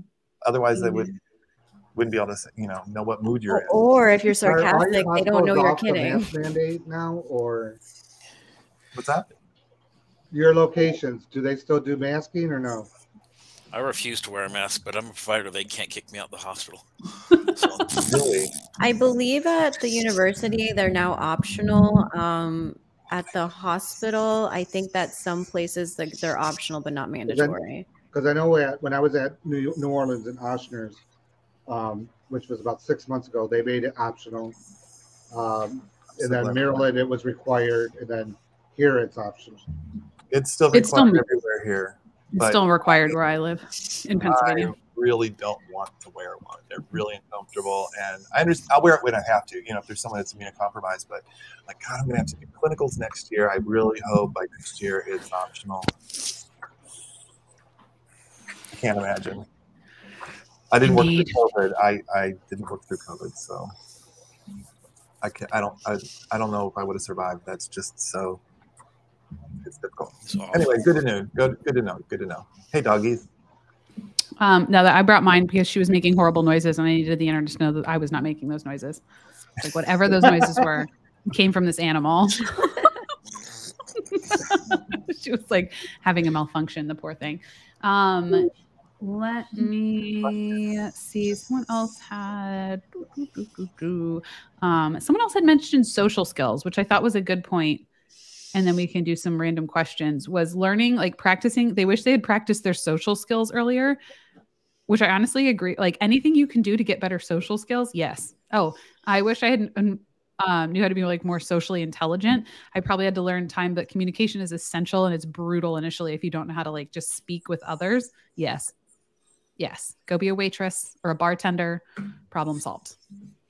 And how you care so going back to those social skills how you carry yourself will sometimes like if like bullies will pick on sometimes people that be, they view as weak and so will patients mm-hmm. right? So you need to learn how to walk into a room look like you know what you're doing and of course that comes with time. So if at first you're uncertain that's okay but just work on maybe standing straight not looking down at the floor not hunching over look up your meds before you go in the room no side effects what its purpose so that if they ask you these questions you're not like uh um because sometimes they they they will look at you unfavorably if, if you don't know what you're doing. That reminds me, know the have these phrases in your back pocket so you don't have to look stupid. So when they yes. say what's this and you don't know, you can go, That's a really good question. You know what? I'm gonna look that up for you. And then it's practice like, oh, God, difficult conversations ahead of time. What, what I find easiest is why don't we learn about this one together? Yeah. Yeah. Or I I should know this. I don't remember. You know what? I'm glad you asked that because I need to look that up instead of I don't know. I'm not sure, but I can go find. But I know where I can find out. I'll be right back. Good for anybody because I was in the grocery store the other day and I said, "Where's the parsley?" And the guy was like, "Um, geez, I don't know." Could we find out, please? Yeah. even if you work in a grocery store, even if you work in a grocery store, please learn those. Well, well yeah. my favorite one was so I walk into my new employer first day. I'm at the HR area, and he's like, "Do you know where this is?" go now. But I know where we can find out together. Right. I was like, I had never been in the building before. Good thing yes. I did because I was in the wrong place too. So yeah. And then follow up. I yes. didn't know it was the medical office building and not the hospital. They're in the same place. Yes. Um, also, Holly is not a good guard dog. That is my dog. Um, story time briefly. When I had my first a baby, I think, or something. I wasn't able to be home, and my friend had to come into my home who had never met my dog to take care of my dog uh, because I was like, I'm having a baby. Could you just like go let her out before my parents get there? Holly's napping. Friend walks into house. Never met friend. Um, would just wakes up, rolls over, does not show any sign of concern. my parents are not here. There's this random person that is here, literally just like rolled over, wagged, played with her for like half an hour and left. Never barked. No concern. So no. F. Get yeah, dog, no biscuit. Yeah. I get home and they go crazy barking. Get a dachshund. Get a dachshund. These guys watch here, watch this. oh, oh, yeah, look at them. They're on like alert. Who is it? and they're off to go find out. Like, whoa, whoa. Uh, we've gotten better. Maybe that's a, a tribute to my training. We've gotten better no, no. Um, someone wanted you, Jasmine wanted you to talk more about psych nursing. Uh, if you can, Brigitte, what you like, what you don't like, pros. And, and I saw that someone else also asked, is it safe? So it depends. There's different acuities. So um, there's some hospitals that are lower acuity psych and those are more safe and those are the ones that i usually take my students to. And i have never witnessed a situation where i felt that a nurse was unsafe or the students were unsafe while i was on the unit.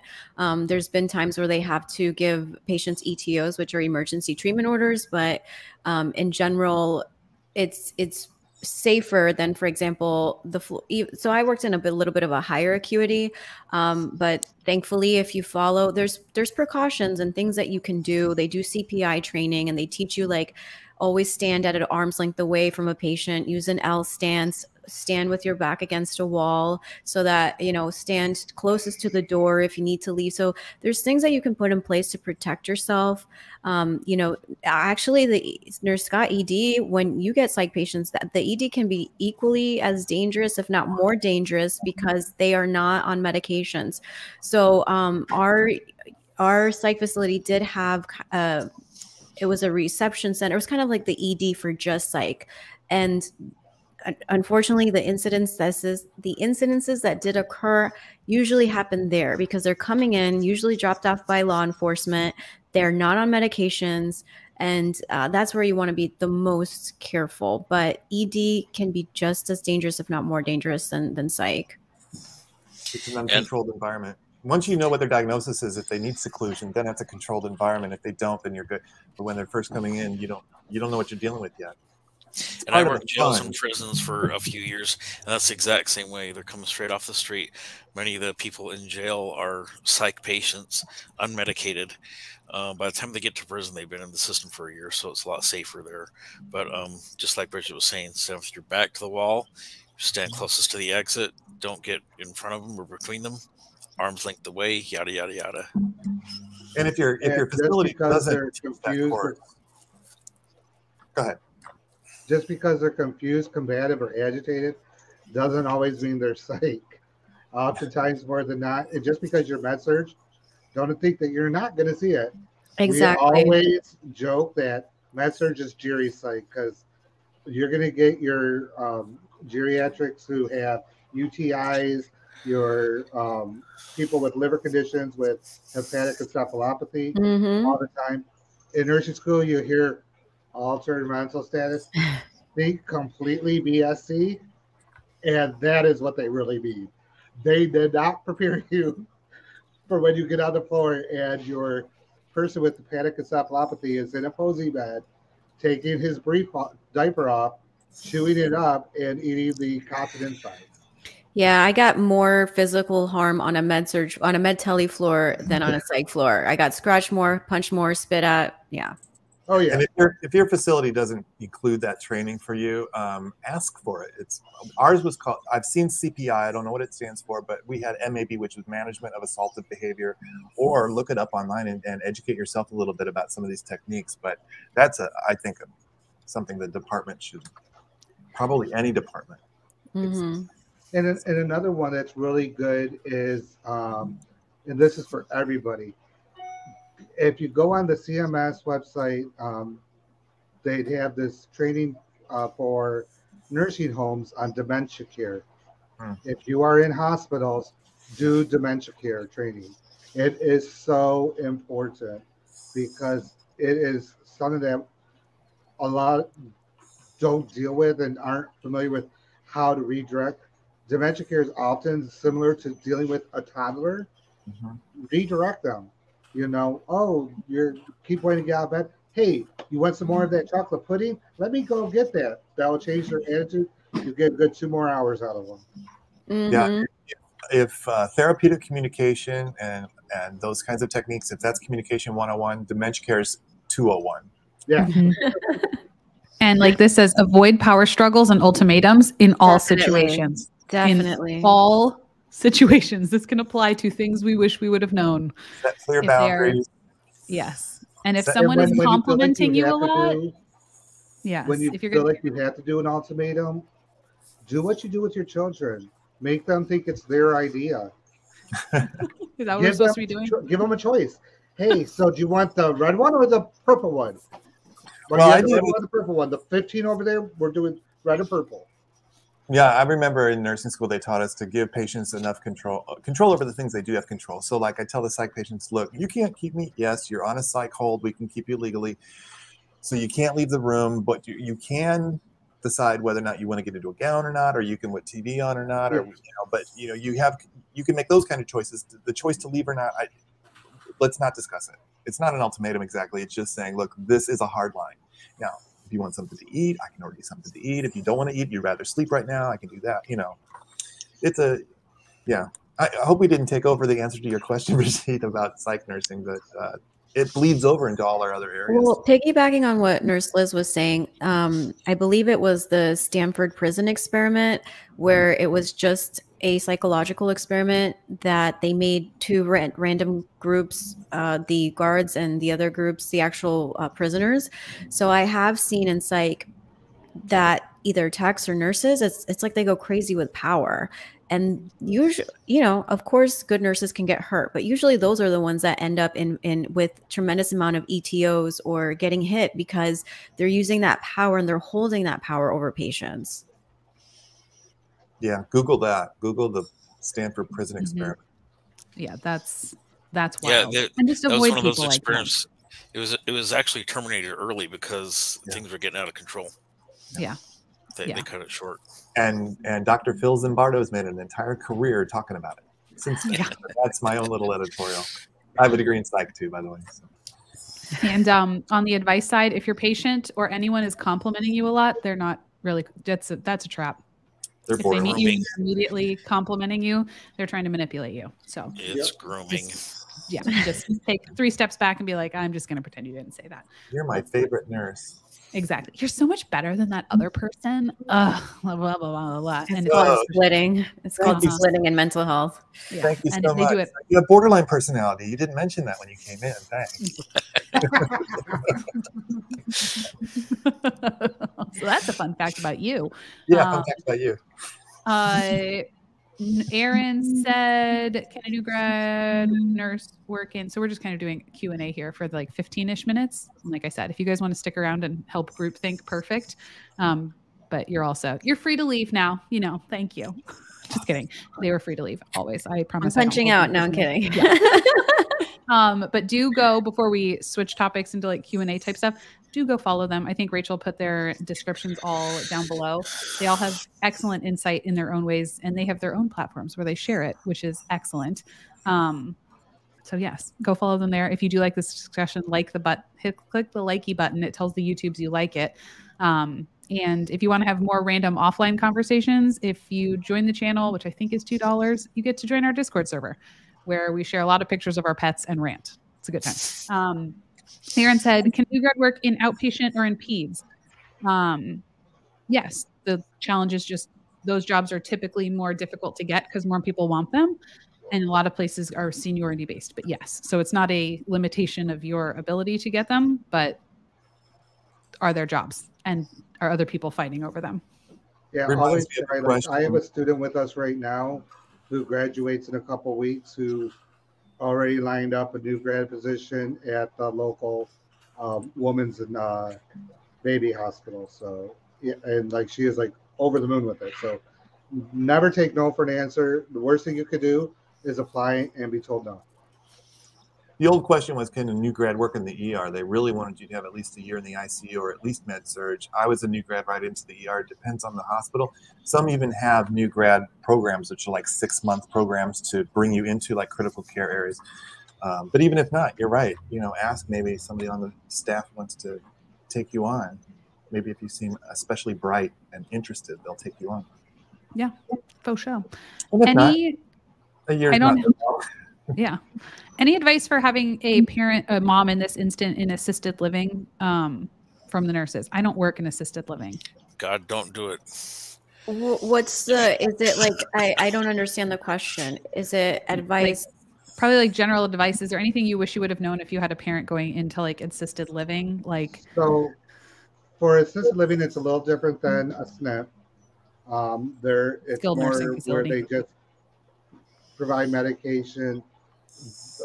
Family visitation is one of the biggest things in both the SNF and the um, assisted living um, arenas. Also, if you have any concerns, um, both are supposed to have a residence council um, and a social work liaison. Talk to them, bring up issues, um, try to work it out at that lower level.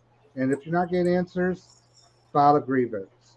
Every state has an ombudsman for skilled nursing and um, assisted living care. And if you're not getting a reaction through the director of nursing or the facility administrator, then go to your local ombudsman. excellent advice. I'm glad someone knew because I was like, I, mm, I've never done skilled nursing. I, I did my No. whole two month stint as a DON, never again. That's that takes a special, a special, special human, and I'm glad they exist. Uh, that is what, if you're around the channel a lot, um, that is what Cal does, and I don't know how he does it. He does great things, but he's working 90 hours this week, so we let him. We let him have the week off. Only 90? Wow, Only he's got it 90. back. He's he is. You know. He's and, and and there are good facilities so i never did sniff but i did work at an alf and it was so i was it was so nice working at a place where i knew the residents were ta- well taken care of. Oh, yeah.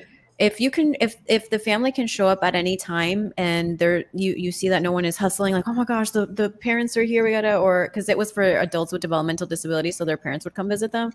Um, but the residents were very well taken care of. Um, the, they have um medic like a medication assistants that help them with their meds and their activities of daily living. So there are just do your research and make sure you look into uh, the facility and and other facilities in the area to see which one you like better. Just shop around like with everything else. And Jasmine um, said, ask questions, stay on top of med changes, open communication. Ad Kemp said, be present, visit mom in her new place, get to know the facility and staff. So it sounds like communication and familiarizing yourself with normal, I would say, is good so that you can see abnormal, right? When things start to feel funky, but you have to know what feels normal before you can figure out what feels funky, if that makes sense. Um, a Amanda Holly said, uh, "Why can't nurse practitioners prescribe controlled substances? Mine is in Texas, and I live in Arkansas, but my NP um, knows about medications, and I don't get it. Uh, they can. So, in order to prescribe a controlled substance, you just have to have a DEA number. They cost eight hundred dollars a year, Mhm. usually. Um, per state there's not Per like a national one Nope. Um, you can try to get your employer to pay for it. Some people choose not to. Um, Um, One thing for NPs to know, if you work for a nonprofit, you can file for, you just need a letter from your uh, employer stating it's a nonprofit and the DEA waives the fee for nonprofit employers. Oh, nice. And a lot of employers will pay you back for it. Um, but your nurse practitioner can if they have their DEA, but they may not want to. Um, I did not always hold a DEA license. I eventually did. I did not always because I, the provider that I worked with, we agreed that we there was a huge issue with people coming to new people in my area wanting controlled substances.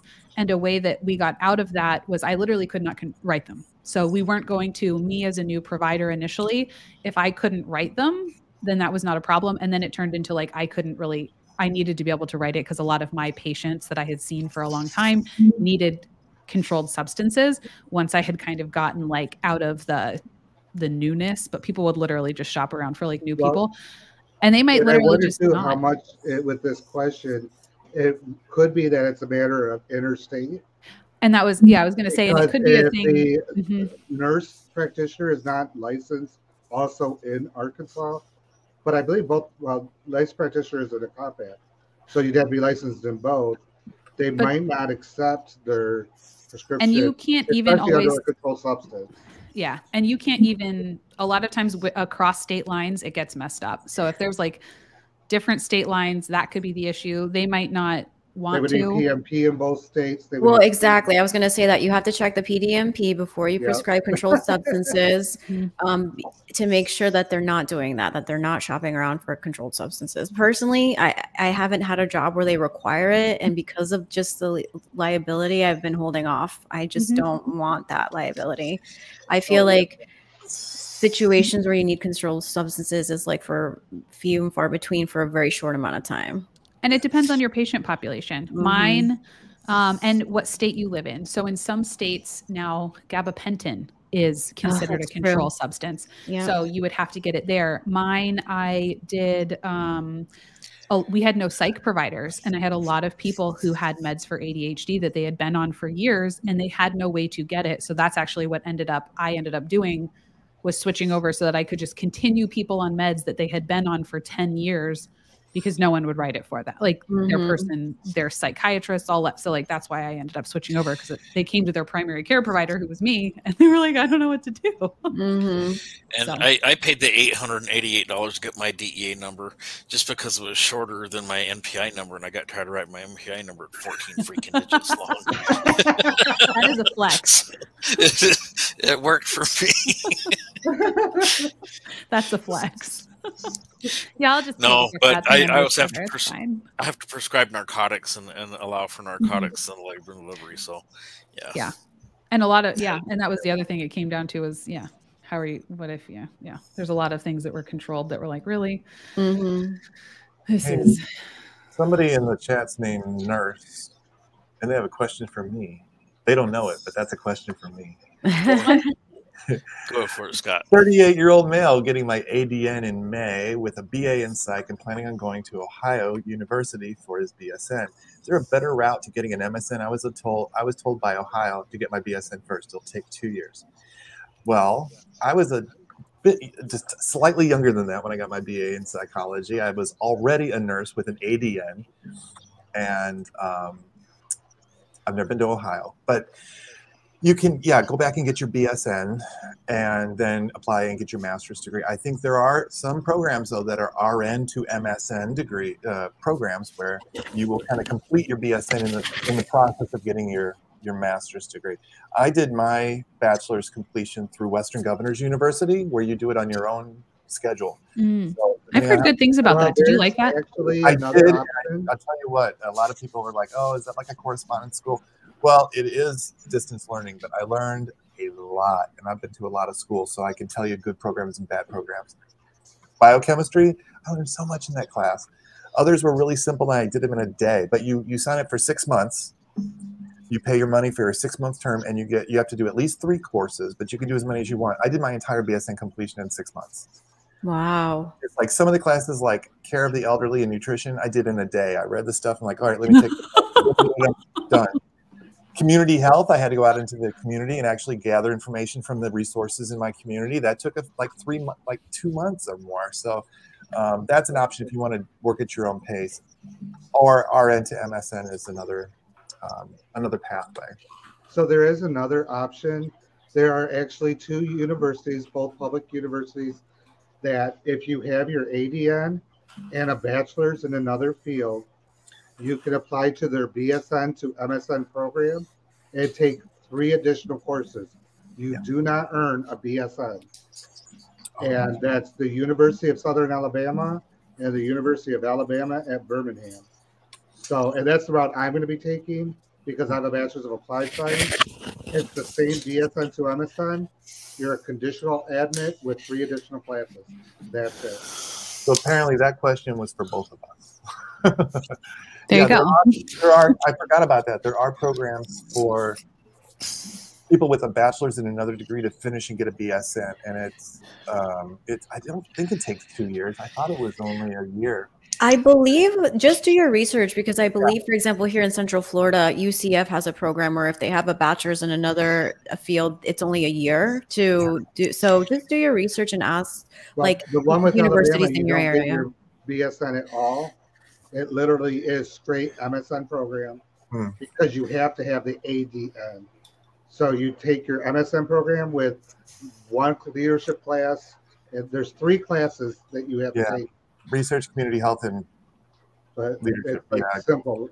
yeah although it's uh, there must be some look into it more because you usually have to have an rn license to be in an msn program if it's a clinical Right. You have to, you have to have your ADN with your RN. oh that's right that's right that's right that's that point yeah I, I never got way- a BSN.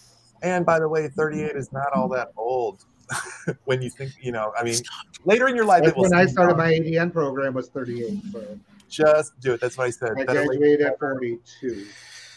better late than never. I'm going to be 56 when I graduate with my MSN. You look Oh. so young, Scott. I would have never known. Uh, nurse, I said the University of Southern Alabama and the University of Alabama at Birmingham. Nurse Scott went to Western Governors University. It's a great memory. I'm very impressed. Good job. I'm like, dang. Um, let me see. I think. do, do, do. Oh, the VA. Does anyone know anything about the VA? Esther Yeah. said, "Does anyone know anything about the VA? Is the it worth the scholarship?" So the VA is really difficult to get into. If you can get into it and use their program, it is one of the most sought after nursing positions you can get. It has a lot of Everywhere I've been, everyone wants to work at the VA. I mean, and Mhm. as on the flip side of it, as cited by clinicals at the VA in Biloxi, Mississippi, it was an interesting experience because the patient population is so constrained. So you, it's nowhere near as busy as a mainstream hospital would be. And then, so you get to do a little bit more too because you're under federal rules and not state rules. So that's a little interesting and different. And then also, I with the VA as a patient. So it's a very interesting area of nursing. I would say for the VA, you can't get bought if you're a type of person that gets annoyed by things that don't make sense. Don't work for the VA. Don't work for the Because the VA. VA, Nothing will Has a make lot of- Nothing. Everything Oh my will- gosh. mm, it just it doesn't make sense. They make you jump through so many hoops. You get so many perks job wise, but like if you want something that's streamlined and you're like, oh, that's a reasonable way to do it. But even in nursing in general, like it's not streamlined. It could be Uh-uh, so much no. better. And when you give them suggestions, they they're like, nope, this is the way we've always done it. But we still also use the flip faxes in side of it, healthcare. Fax machines. Or they say, "Would you like to flap- be on a committee? We can look at that if you want to start a committee." Oh, yeah. like, Uh-huh. shared, shared governance is a big thing with them. But the flip side to it is too, they are a single payer health system. So if you're going to do training on something and you want to open up a chest tube just to show it around and stuff, and and everywhere else that say, oh no, that costs too much, they don't care. Yep. Um, yep. Who said Kate says here in Los Angeles, getting a job at the VA or other county are coveted, outstanding benefits. Same where I've always been. Mhm. I Never in left. I People at- that went worked- to the VA never left. I worked at Cedar Sinai in LA. It's a good place to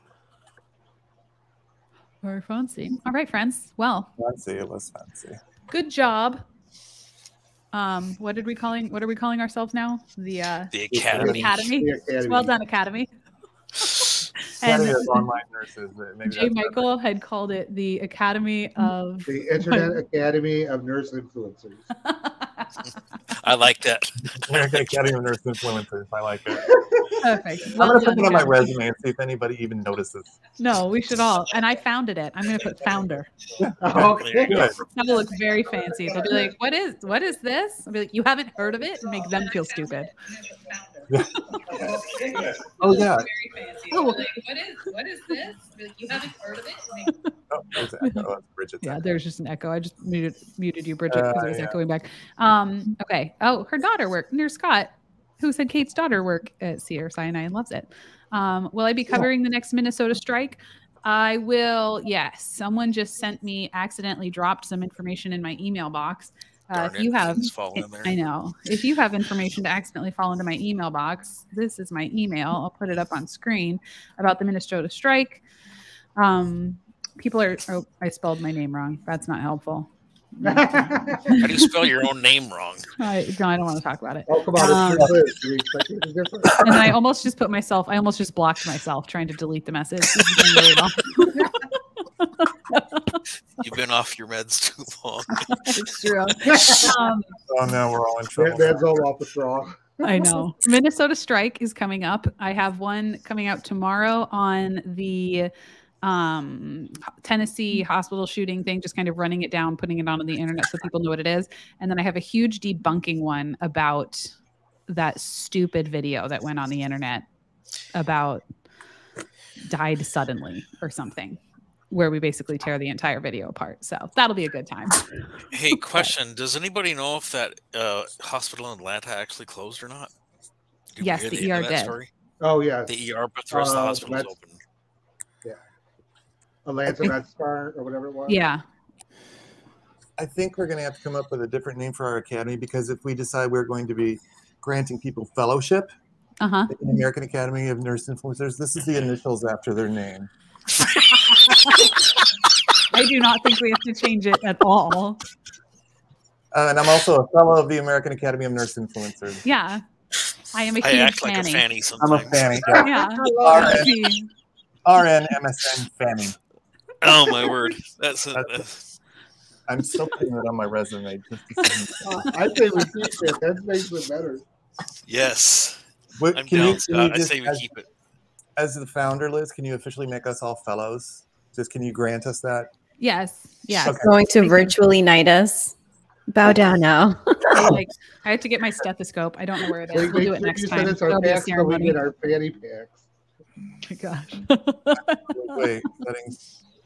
Where is um? Oh, where's the thing? we're waiting with Oh, bated no, I breath. was thinking, I thought there's a way to do the um, where you change your name on here.